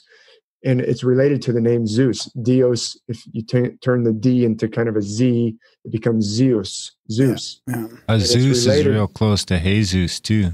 That's right. It's it's also close to uh, the divine name of God in the in the Bible, uh, Jehovah, Yeah. Jove, Jove, uh, which is uh, Zeus Pater or Jupiter, is the is the Latin name, which is also Jove, which is related to Jehovah or Yahweh. Yahweh with a the W could be pronounced as a V. That Yo Yahweh is very close to Jove as well. So um, actually, all these most powerful divine figures are related to the same constellations across myth systems. What about Adonis? Same kind of question for Adonis. Yeah, so Adonis actually um is, uh, I think, associated with a different constellation, Sagittarius. Uh, he's a he's a shepherd. Um, I don't have any. I've got some pictures. So let me actually. Zeus is associated with Hercules, and I've shown this a little bit before. But how are we doing on time? What, what how long have you been going? Uh, about an hour and a half, I think. So Yeah, far, a little so- bit less. Yeah. So, um, you know, I've been talking a lot about how these myths are actually metaphors for what we're going through. Okay, I'm not saying that the these gods are not real. I believe they're very real. I believe the divine realm is very real, and I believe we reconnect with it or we connect with it through our higher self. Um, so, uh, I believe you can find these kinds of uh, ways back to connect with who you really are through the scriptures of the Bible, through the scriptures of the Vedas and the sacred texts of ancient India, through the myths of of that were given to all the different cultures of the world. Um, I don't believe that they're not real, but I am convinced that they're based on celestial metaphor because the stars are in this infinite realm. So they use the stars to teach us about the invisible realm. Like if I said, "Hey, what is what does my higher self look like?" You know, if I was talking to a a wise guru who's going to teach me how to reconnect with my higher self and I go up to the top of the mountain he starts teaching me to meditate and one day I say, "Hey, you know, so I can recognize my higher self, what does he look like or she look like or what does my higher self look like?" The the, teacher would probably slap me and say, "You knucklehead, you're looking in the wrong direction. Your higher self is not a physical entity. And I say, yeah, but but wait, my higher self sometimes is portrayed as Isis or as Osiris or as uh, Jesus or as yeah, but that's to teach you how to reconnect with your higher self. Oh, does that mean that uh, the divine realm isn't real? You'd probably slap me again and say, no, of course not. The divine realm is real. You just can't see it. So the way I'm going to help you understand it is through these myths are going to point you towards these are realities, but they're using the infinite realm of the stars to teach us those realities. And it can be proven to be a metaphor because all these myths are can be shown to be based on the stars. So I've shown some connections to Hercules before, but it's good because we were just talking about Zeus and the connection to other divine figures that are very powerful. Um, this is Hercules again. Can you? And I've I, I've, I think I've shown this on Grimerica before, but just for people that maybe this is their first time seeing me talk, and hopefully, you know, they might say, "Oh, that metaphor stuff is very interesting," but how do you know it's how do you know it's really that? Well, I can show you that these myths are based on the stars. They are using celestial metaphor, and here's an outline of Hercules from or Heracles from an ancient Greek uh, pottery. He's fighting in a battle here. You can see he's got his arm up over his head. You can see a sword way up there. If you look, the, the pot that it's painted on is curved, but he's got this huge sword over his head. He's got one leg forward and one leg back, one arm forward. And if you look at the outline of Hercules that I've put up there, that's the constellation Hercules the hero Heracles is almost invariably drawn in that outline, that same that same posture that matches up with the constellations. Here's here's a, there's a different myth where Heracles or Hercules is stealing he's actually stealing the tripod from the temple of Delphi. and you can see that exaggerated lunge again. You see that exaggerated lunge in his his uh, his posture. He's actually being chased by the god Apollo. Apollo, you can see he's got a quiver of arrows at his side. That's Apollo is related to a different constellation, actually Sagittarius that that you asked about, hmm. Graham, when you were asking about Adonis. Yeah, um, Adonis. All these constellations can play a male character or a female character. Sagittarius plays female characters a lot of times, and a lot of times plays male characters. So Adonis is kind of a um, you know a youth who's got a lot of physical beauty not like rugged looking like hercules and um, a lot of times doesn't have a beard so you see apollo so um, adonis sometimes actually gets castrated in some of the myths by a boar or um, you know the, the the the stories when you're like what what is going on in these stories they seem so uh, it seems so bizarre. Zeus sews up uh, baby Dionysus in his leg and then gives birth to him. That's because Dionysus is associated with the constellation that's right below Heracles, Ophiuchus. That's how he gets torn limb from limb. You can see the, the serpent halves on either side. Um, huh. He's born from the thigh of Zeus, or Athena is born out of the head of Zeus. Athena is also associated with Ophiuchus. But in this case, Hercules is running off with a tripod at the temple of Delphi. What do you think constellation could play the tripod that Hercules is trying to run away with? It's actually Ophiuchus right there. It's, it's Ophiuchus right below. Is that what, see, what's Ophiuchus stepping on? He's stepping on Scorpio, and that plays a role in a lot of myths. But actually, um, to the left of Ophiuchus is Sagittarius. Sagittarius is on the other side of the Milky Way from Scorpio that's um, Apollo is associated with Sagittarius. I didn't draw it in on this one. I should have, but the tripod of Ophiuchus in this case is in between Hercules, the constellation, and Sagittarius, the constellation. And that's why we have this myth of Hercules and Apollo having a tug of war over the tripod of the temple at Delphi. I think it looks it could be interpreted as looking like a tripod. It Ophiuchus plays a role of a lot of different uh, figures in myth. Some, sometimes it's a mountain. That's why it's Zeus of the mountain or Dionysus is associated with Ophiuchus. Go Is there ahead, something else about him taking the oracle away from that, or is that tripod something to do with Yeah, the tripod future is the telling? Or, oracle. oh, yeah, is it? Okay. That's right. And Yeah. it's right there next to the Milky Way. You can see kind of some smoky stuff on the left side of the uh, left side of that constellation Yeah, image yeah, there. yeah. That's the Milky Way. I've inverted the sky so that the background of the sky, which would be dark, is light, and everything that's uh, everything on this image is inverted. So the Milky Way, which is really bright in the sky, looks like cloudy smoke. So that's the smoke that floats up next to the tripod that puts the priestess. Her name is the the the Pythia. Uh, she's she's the priestess of Delphi. She's uh, the the smoke is rising up from the body of Python that Apollo s- slew the dragon Python. The dragon Python is almost certainly associated with Scorpio. That's down there beneath the tripod. Huh. Does that make sense? Yep.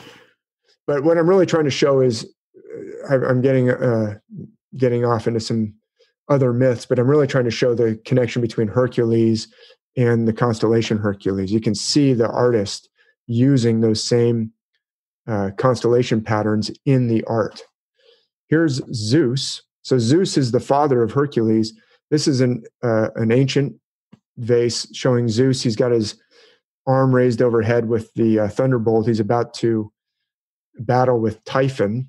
Typhon is is to the right, but since it's a little bit damaged, it's hard to tell. But if you look, he's into that same deep lunging posture, but some of the paint has flaked off. But can you see how his back leg is bent hmm off to the left of your screen there? Yeah. Here's a depiction of what it used to look like. Wow. Can you see that that's the same posture as the constellation Hercules? He's got quite the bubble butt there. Yeah, he's Just he's like super you. powerful. Pretty jacked. Yeah, he could he could bench press like five thousand pounds. And- or Grams And Typhon, Typhon's a 5,000. pretty important. Uh, de- I don't know what, Very what's the right word. I mean, the one of the all-pervading. Uh, what what would you even call it? Monster, demon, whatever Right. archetype it has, right? and see how he's got legs made out of snakes. Yeah, So look at Ophiuchus carefully, directly below Hercules. yeah, See how Ophiuchus is a, a central body with two serpents on either side, and then two legs at the bottom. Yep. Okay. He, Ophiuchus means serpent holder. So Ophiuchus shows up in myth in many different guises, but put your fingers over the bottom, put your finger over the bottom legs and just look at the central body. And then you've got a serpent coming out to the left and a serpent coming out to the right. Yeah. That's the serpent legs of Typhon. Typhon is associated with Ophiuchus. I'm pretty convinced because Hercules actually finally deals with Typhon. He can't completely destroy Typhon. He throws thunderbolts at Typhon. He can wound Typhon and drive him back, but he can't completely slay him. So he slams. You know how he deals with him? I can't slams remember. a mountain down on top of him. Wow. In some uh, some traditions, it's Mount Etna, which is still a volcano in in Italy today. So he slams Mount Etna down on top of Typhon, and that's you can see Ophiuchus sometimes plays a mountain in different myths. So anyway, but if you if you look at Ophiuchus, you can realize why it's a figure with two snakes for legs, just like the image of Starbucks. If you go to Starbucks, you see the uh, The siren. The mermaid or the siren, and she's got two fishy uh, tails coming up, just like Typhon here, Hmm. because she's associated with Ophiuchus. I would argue she's associated with Ophiuchus. This is another uh, figure who's associated with Hercules. That's you know who that is? No. Hanuman. Hanuman from Hmm. ancient India, still worshipped in India, from the ancient Sanskrit texts of India. The the god Hanuman is, I am convinced, associated with the constellation Hercules. You can see what's Hanuman's chosen weapon. A huge mace. Oh, I was, I was mace. looking at the rock. Yeah, so he's picking up a rock with his other hand. So he's got a mace in one hand and he's picking up a mountain in the other hand. Ophiuchus, like I said, is plays the role of a mountain. In this one particular myth, Hanuman has to save somebody's life, and he's told, uh, "Hey, the only way to save this this person uh, is to get this herb that grows on in the mountains of the Himalayas. You've got to go get this herb." And Hanuman gets there, and he's looking around, and he's like, "I'm not sure which herb it is." Okay, I'll bring the whole mountain. So he brings the whole mountain. Well, that myth, you can see Hercules' figures are above a mountain. He's leaning down and picking up either the triangular top of Ophiuchus or that little serpent head of Ophiuchus, a little smaller triangle there. You see that? Yeah. This is a picture of, uh, this is a gate in India. This is carved in the 1500s, but this is a figure whose name is Beam in the Sanskrit myths. He's got a big mace, but you can see how he's in that exact same uh, posture of Hercules. Beam is kind of a Hercules figure. Bhima, it's spelled Bhima, B H I M A. They usually pronounce it beam, but you can see how it's connected to the Hercules figures across different cultures are often connected to the same kind of characteristics. They're usually jovial, they're pretty uh, fun loving, they love to eat and party, but they have a quick temper, all these same kinds of things. And you can see he's holding up a lotus flower in one hand. That's because that part of Ophiuchus sometimes plays a lotus flower.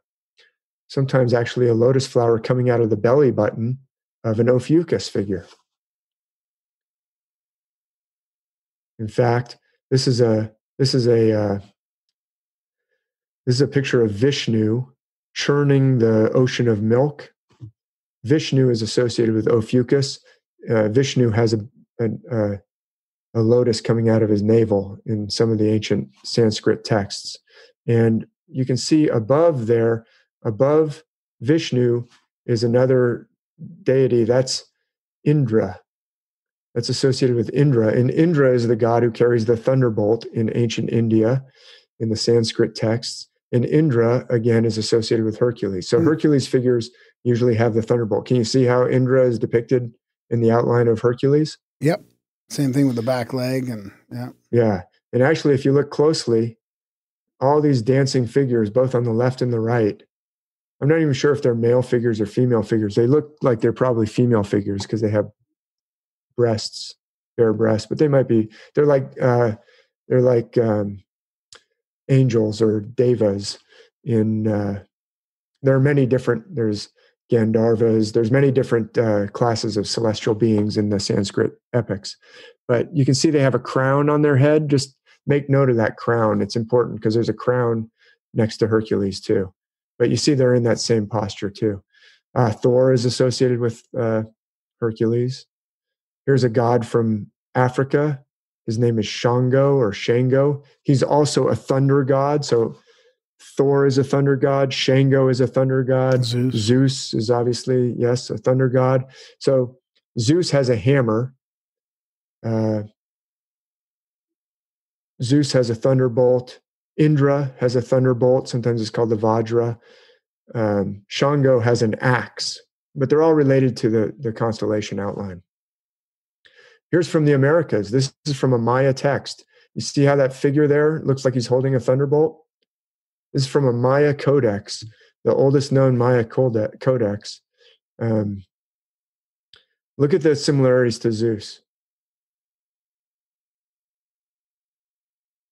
Except he's facing the wrong way. Is that from the sun? Okay, he's facing the wrong way, but still, it's they they sometimes the Greek paintings are facing the other way too. They uh, they actually take kind of artistic license, but you can see they're still using that same um, Hercules outline, and the thunderbolt is associated with Hercules figures.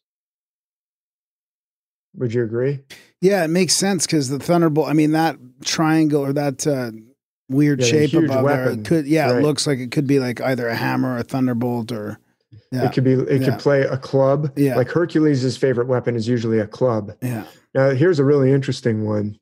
This is from the the it's called the the Gate of the Sun or the Puerta del Sol. That's what we call it today. It's from Tiwanaku in Bolivia.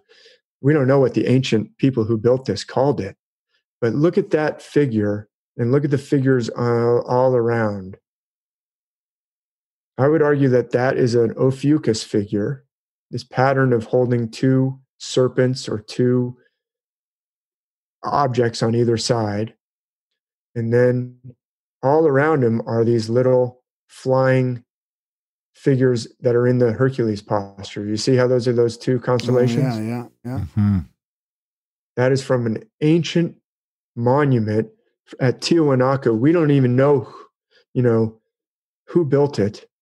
Uh, it's maybe it was Inca, maybe it was Toltec or Olmec, but this ancient culture in the Americas is using this same system that's found around the world. They seem to be Thanks. highlighting Fucus or whatever his name is there. Do you think that's for a specific reason?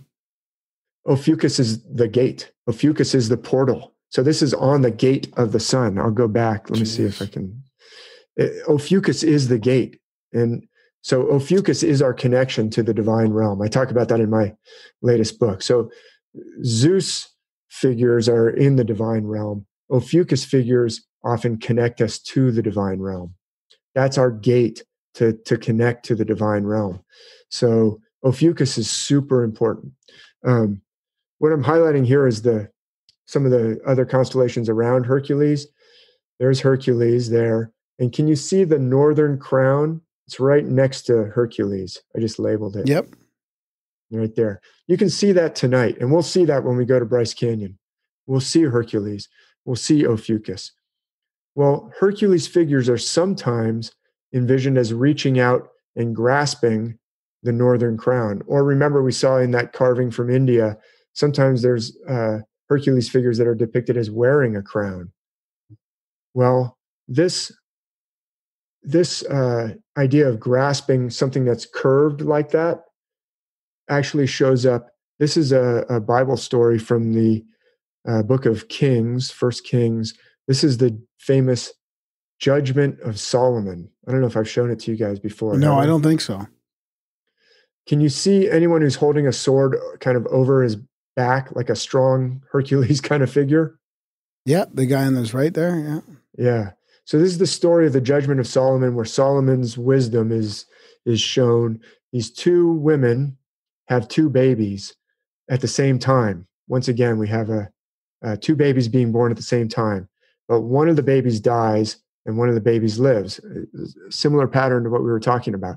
Can you see the dead baby down on the ground? Yeah.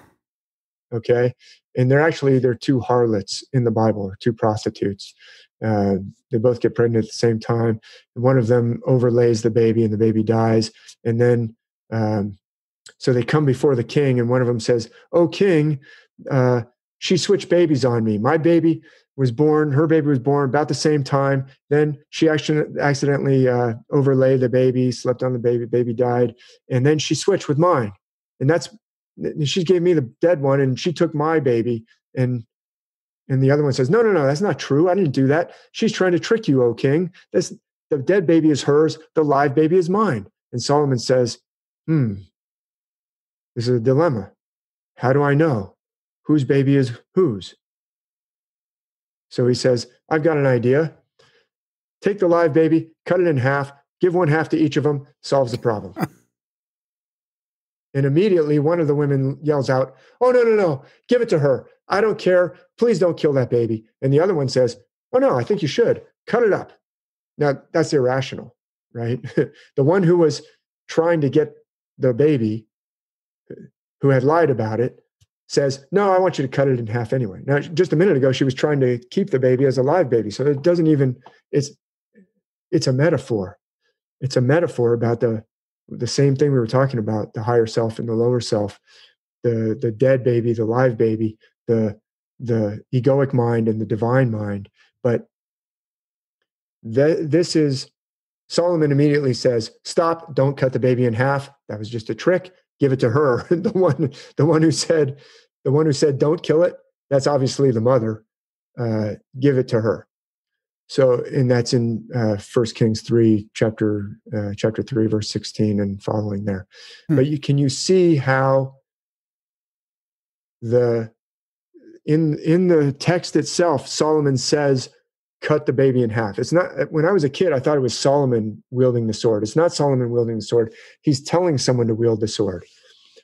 You see the how the baby is arched, right Yep. there. hard arch. In these myths, a Hercules figure will often pick up a baby, and the baby is the northern crown. Now, that doesn't just jump out at you as a baby, but it's found around the world this way, which is an argument for this system is connected. This is not like uh, uh, this is not something that just pops up um, randomly in different cultures all by itself. I believe there's an ancient worldwide system that is remembered by all these different cultures around the world. Here's another depiction of the judgment of Solomon. Solomon saying, Hold on, don't cut it in half. See, once again, we have the, the swordsman putting the sword over his back, and the baby, once again, depicted in an arch. Oh yeah. And Huh. Solomon, Solomon is often depicted, he's described as being between the pillars of the temple. Um, oh, I jumped ahead a little bit, but Solomon is a different constellation. He's not Hercules. Okay. But I just want to show real quick, and I know we're we're I'm not giving you guys a lot of time to ask questions. No, no, it's okay. constellations, sometimes I get this uh, response. Well, of course, all the myths around the world are based on the stars because you can see the stars around the world, right? Yep. Which you can. But the constellation Hercules is not an obvious constellation. And even when you know how to find the constellation Hercules, to imagine the northern crown as a baby is not particularly obvious. I mean, we we already saw the northern crown, right? And yet we see it here as a baby. We see it in the myths of Maui. Maui is thrown into the uh, ocean foam by his parents, and uh, he's rescued by his powerful grandfather, who picks him up and hangs him in the rafters over the fire to dry out because he's freezing cold from being thrown into the ocean. That's the same pattern. The grandfather is Hercules. The baby, Maui in this case, who's being lifted up to the rafters, is in that case the, the constellation uh, Corona Borealis, Northern Crown, same word that we use for coronavirus right now, which you see that in these kind of traumatic operations. I think that there are people who are using uh, the ancient knowledge to inflict trauma instead of to help us to uh, overcome trauma. But Hmm. it's not an obvious thing to see the baby, to see the northern crown, Corona Borealis, as a baby. And yet we find it around the world. We find it in the Bible. We also find it in the uh, the book of Revelation, not not only in the book of First Kings, which is in the Hebrew scriptures of the Old Testament, we also find it in the Revelation, the Greek scriptures of the New Testament. We find it in the myths of Maui. It is not obvious. And even here's a depiction of the constellation Hercules from the 1800s. Notice that this artist, the artist's name is Sidney Hall. You can find this. This is from a, a famous book of the constellations. It was actually flashcards of the constellations made in the early 1800s, I think the 1820s Wow. maybe the 1840s.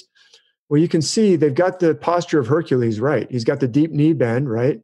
He's got the club over his head, right? Yeah. But they've got it wrong because you see the crown, It's on the other There's side. nor- yeah. they've got it upside down. They the the the outline of Hercules is understood, but in this in this uh, set of cards that they made in the 1800s, they've actually outlined Hercules upside down. The northern crown is over there. Yeah. Yeah. this is the outline of Hercules. I just I just drew it. Yeah. That's not that's not part of the card series. I drew that in. That's the way Hercules is in that deep knee bend, but it's not so obvious. It's it's so not obvious that they didn't even get it right. They knew that it's supposed to be that way because of somehow the traditions get passed down. Artists, even you know those paintings that I showed you of Judgment of Solomon, those aren't ancient.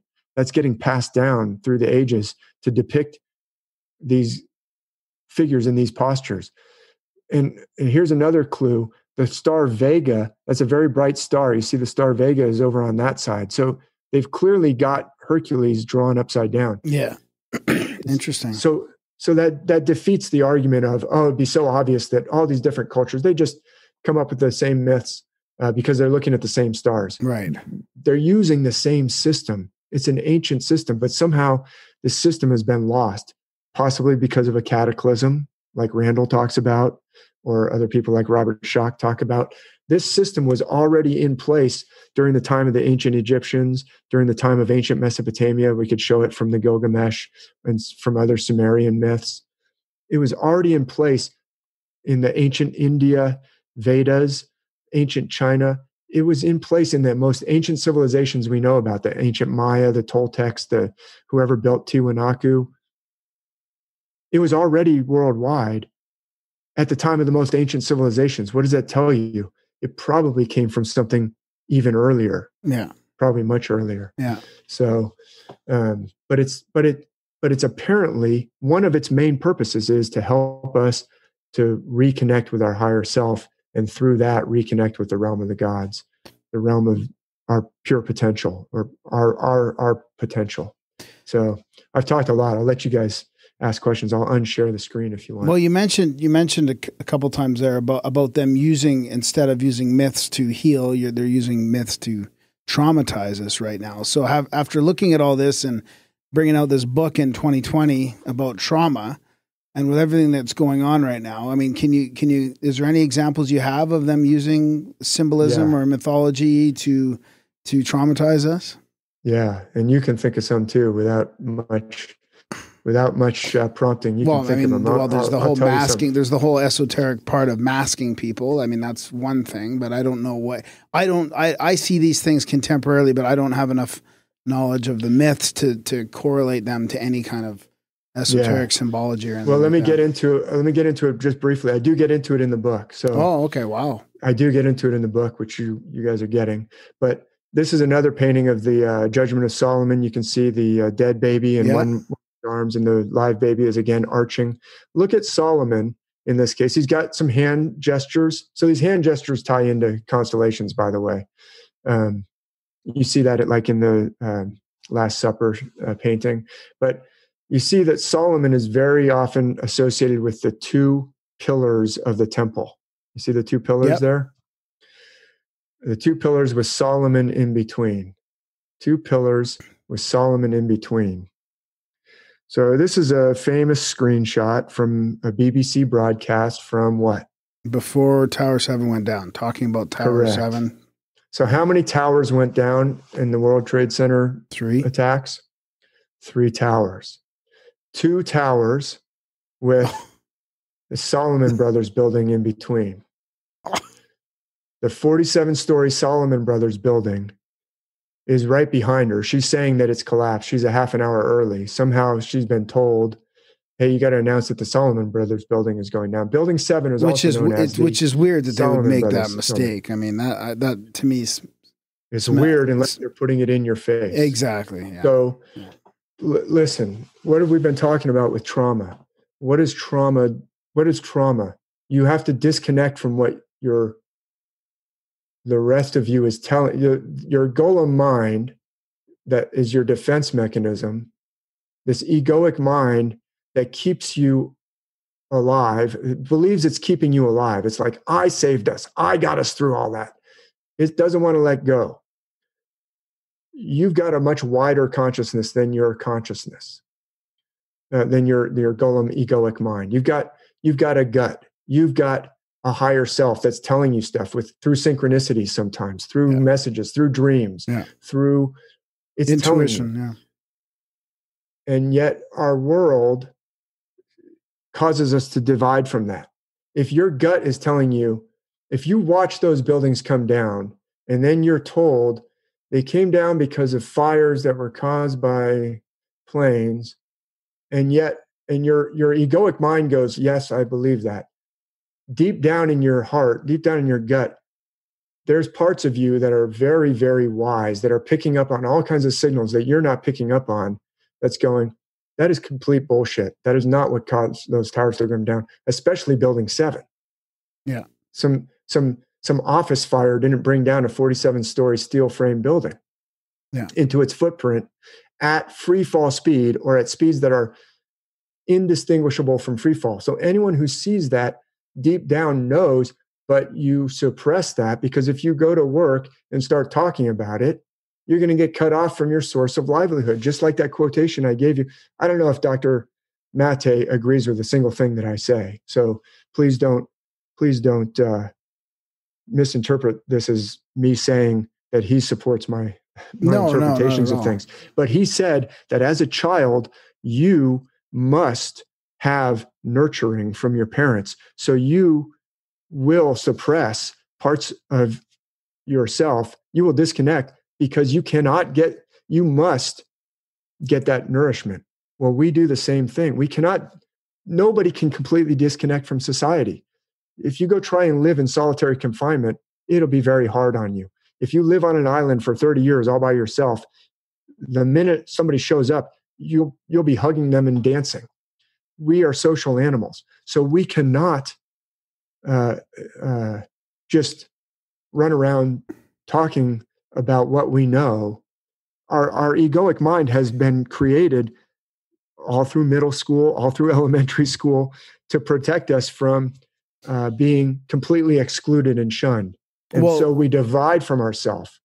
And that, I think, what's going on is you've got some people who have woken up to this and are starting to run around looking for all these symbols and like, aha, aha. And then you have some people who are suppressing it. But Yeah. in both cases, it's traumatizing. Yeah, it's also traumatizing. to be stuck inside your house too, and not to and to social distance. I mean, this is a whole other other part of the trauma that you just talked about. About you can't, you know, you talked about isolation. Well, they're actually forcing people to do that now. Absolutely. And and so and and then when they do it with symbolism, look, the two towers and the Solomon Brothers building. Yeah. Wow. That is a and and in the book I talk about um the the there's these patterns are used to to where people go, ooh, I'm starting to look for those patterns. It's almost an initiation. Okay. It's almost an initiation, but it's not an initiation into reconnecting with your higher self. It's more of an initiation into, oh my goodness, the these all powerful, uh, you know, I, I use the terms from like the military. Like I, you know, I, I was in the military. I went to West Point. They call it the cadre or the drill instructors. If you're going through basic training, you're getting an initiation. If you go to basic training, you get an initiation. If you go to West Point, you get an initiation. And guess what? It's traumatic. Yeah. and the cadre or the drill instructors, the, the ones who are at the top of the pyramid, are it's almost like they're gods in your eyes. So you're getting an initiation, but it's not an initiation into I'm connected to my higher self. I'm so powerful. It's more of an initiation into ah the the people above me are so powerful they can do anything. That's that's the kind of that's the kind of effect that I think they're going for by putting this stuff in your face. That's some people yeah. some people are some people suppress it and that's traumatic it's just like if your wife i use this uh, metaphor i heard it from someone else actually who said if your wife is cheating on you you'll actually know it deep inside before your brain admits it Hmm. or if your girlfriend your significant other because your your uh, your your most um, i'm trying to stop share here. Your most deepest all, Intu- all Intuition. yeah intuition your subconscious knows it but your your Gollum mind your egoic mind that's trying to protect you and i know we're running out of time keeps you from knowing it. And then eventually when you know reality crashes in maybe you, your egoic mind finally has to deal with it. But that being separated from what you know that's what that's what's happening i think with some of these traumatic events where it's so blatant and and you're looking at it and going how is anyone believing that that event is really what they're telling it Yeah. Yeah. as Yeah. well i think there's a lot of people who are realizing that subconsciously but they're suppressing it and that's unhealthy so we've got we're creating more and more of a traumatic society because it's easier to oppress people when they're split from who they are. If you're a integrated with who you are you're completely like you were raised in that environment that we were talking about earlier where you know exactly who you you know you're you're part of your tribe.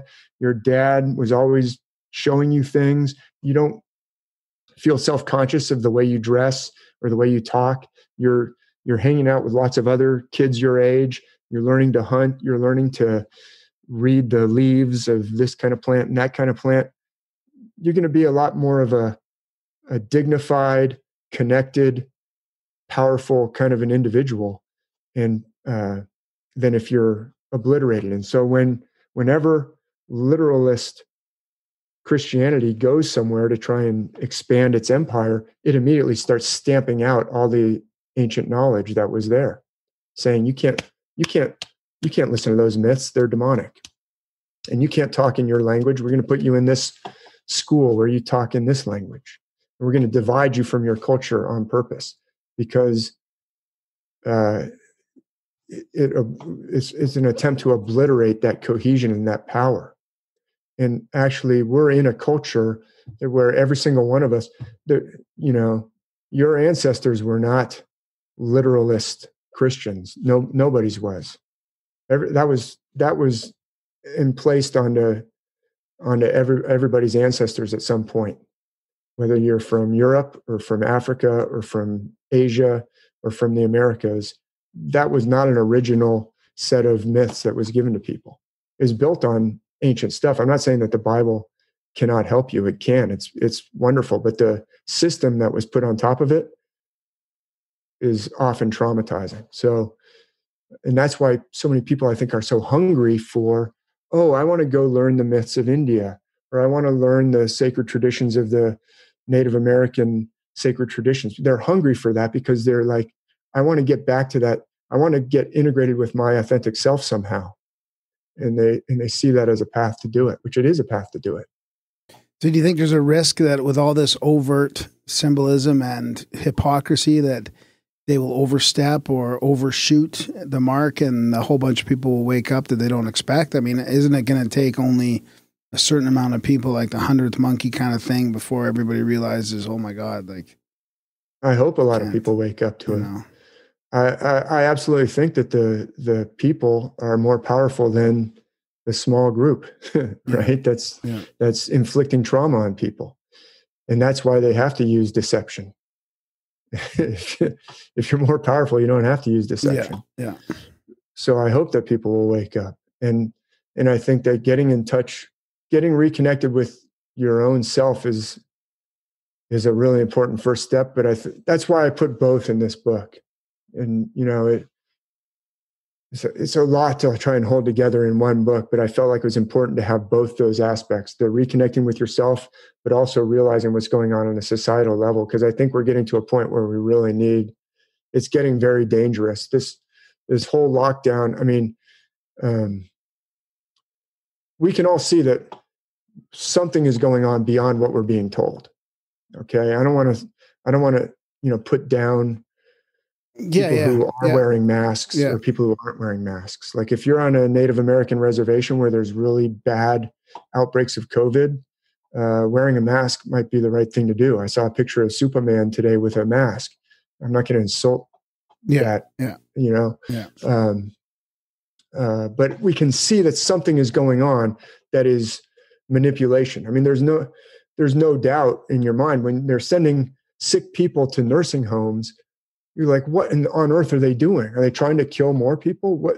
They're, it's like it doesn't compute unless there's something else going on. And I don't think there's anybody listening who uh, who wouldn't agree that there's something more going on. Yeah. Well, why are they doing it? It could be to be increasing uh, technological surveillance of everybody, kinds of things that nobody would have accepted a year ago. Yeah. Yeah. Now we're going to trace wherever you go, and people say, "Oh, thank you." As long as I can get on an airplane, and now we're going to fly drones above cities, you know, to to monitor uh, any gathering. You know, oh yeah, I think we need to do that. Uh, ushering in, ushering in AI to uh, do more facial recognition. I don't know exactly what's going on, but the the the capabilities to impose greater austerity on people are increasing. And I think the imposition of austerity, I talk about this in the book too. I don't have time to really get into it. But austerity basically means higher taxes and lower services. Yeah. you get less and you pay more. Yeah. And it's not always government taxes. In fact, it's a lot of times it's private tax, like a tax that's imposed by the bank, a tax that's imposed by the corporation, Yeah. pri- private equity buying up all the parking meters in a city. This is actually happening where cities are broke and bankrupt and they have to sell off the roads to some Wall Street investor who says, Oh, yeah, I'd love to get all the quarters or all the parking tolls. We're not going to use quarters anymore. You're going to use your credit card. But that's a private tax. It's going into a private billionaire's pocket instead of going to you know the government that's supposed to be of the people by the people for the people Yeah.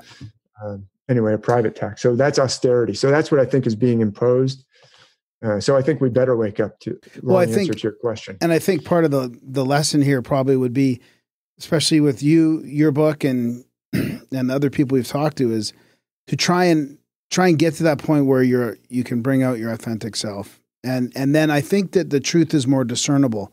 It's easier. It's easier. It's easier discernible. How do I say it? Yeah, it's more easily discernible.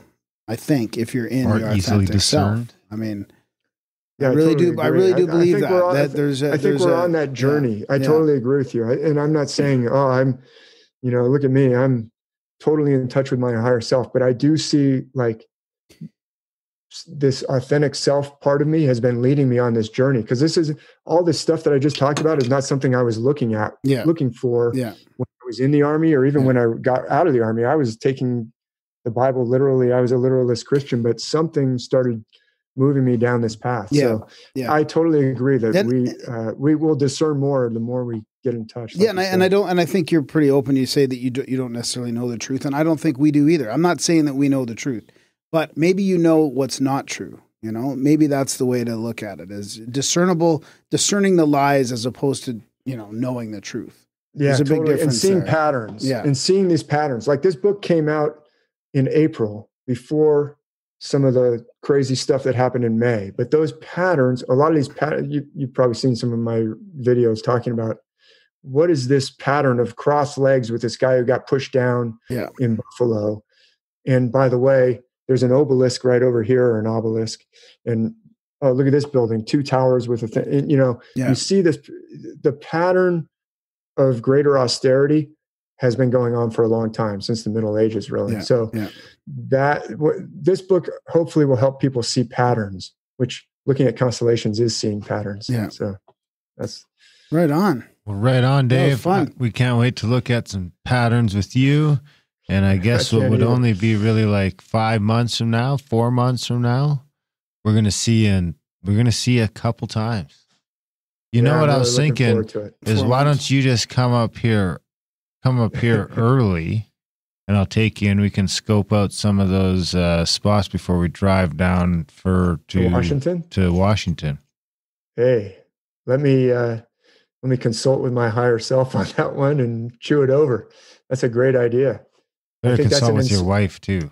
that's an inspired idea that you got from from while you while you were uh, Listening. while you were chewing on all this stuff. Yeah, I definitely better consult with my wife. Um, thanks for that invitation. Thanks for having me to Grimerica. Yeah. Thanks. Buddy. Thanks to everybody who's listened, and thanks for everyone who's interested in these subjects. I think uh, I feel they're really important, and I really uh, hope hope that uh, it's beneficial to others. Right on, buddy. Yeah. So do we. We'll put all your links in the show notes and everything, and uh, yeah, we'll keep in touch. We can't wait to get the book. Should be here. I, I predict it'll be here tomorrow. Right on. Yeah. Okay, Thanks, Dave. man. You know, yeah, take a picture when you get it. Yeah, we will. Yeah, for sure. We'll post it on our social medias and try and sell some books for you. And who knows, you, maybe we'll get you actually in Grimerica Studios this year. That would be awesome. Thank you, Grimericans buddy. everywhere. Okay, Bye. Dave. See you, buddy. Bye bye. Night.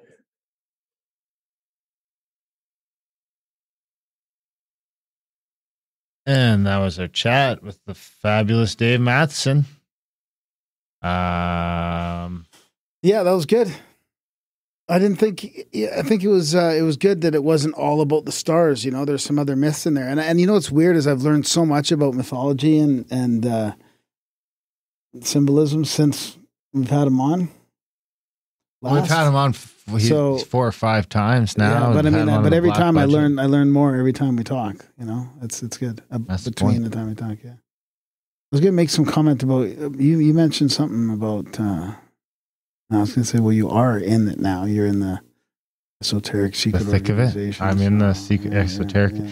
secret sky alien organizations. Actually, we're on summer break.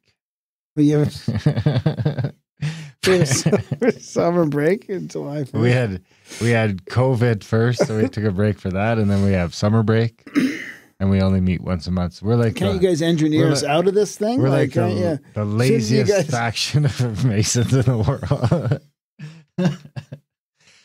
Oh, thought maybe you'd be able to help us out I of think this thing. at the end of the we'll have end, at the end of the year we'll have ended up meeting like four times this year. What does all your Masons think about the esoteric I haven't talked symbolism of, of, I of masking and, I haven't talked to him since uh, social distancing? I haven't talked to him since February. wow.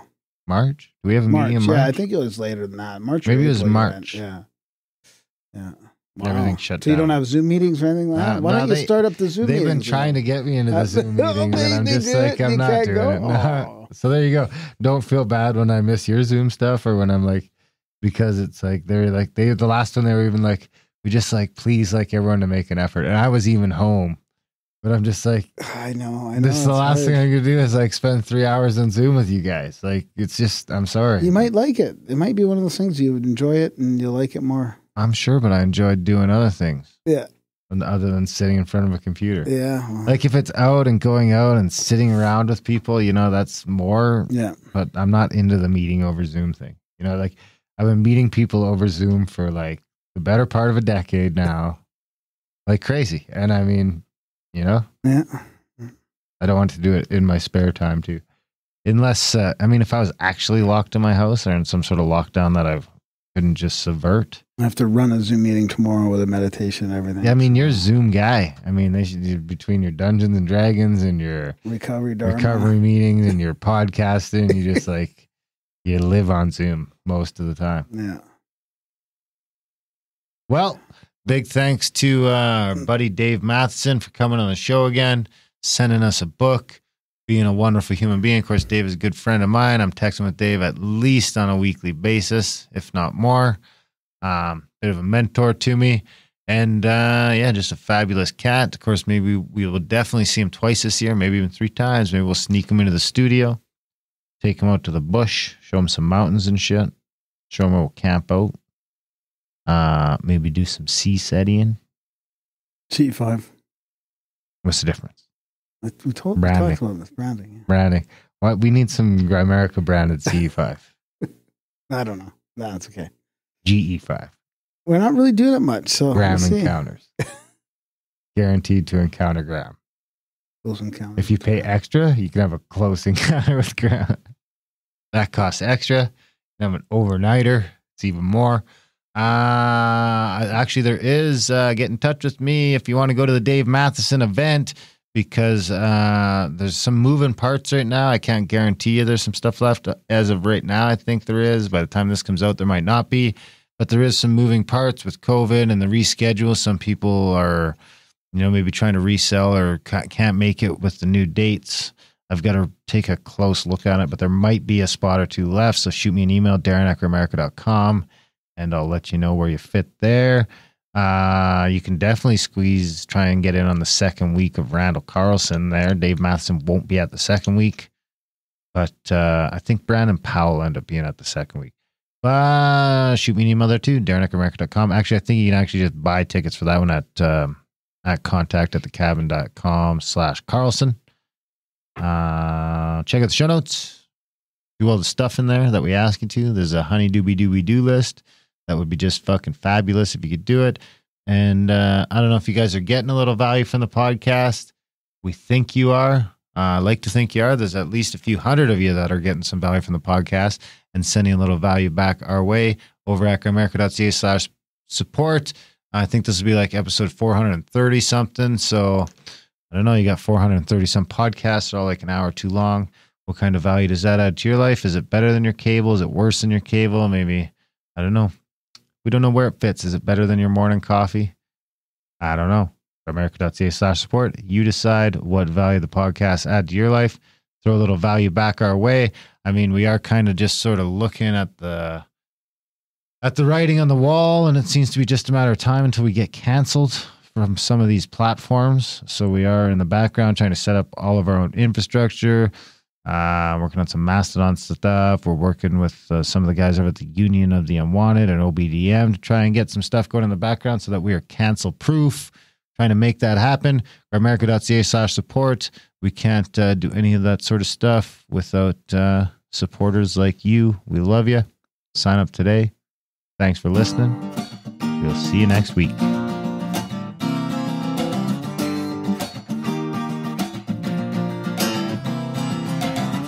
Started writing down a list of things to do. Number one on the list of things to do was to write a list of things to do.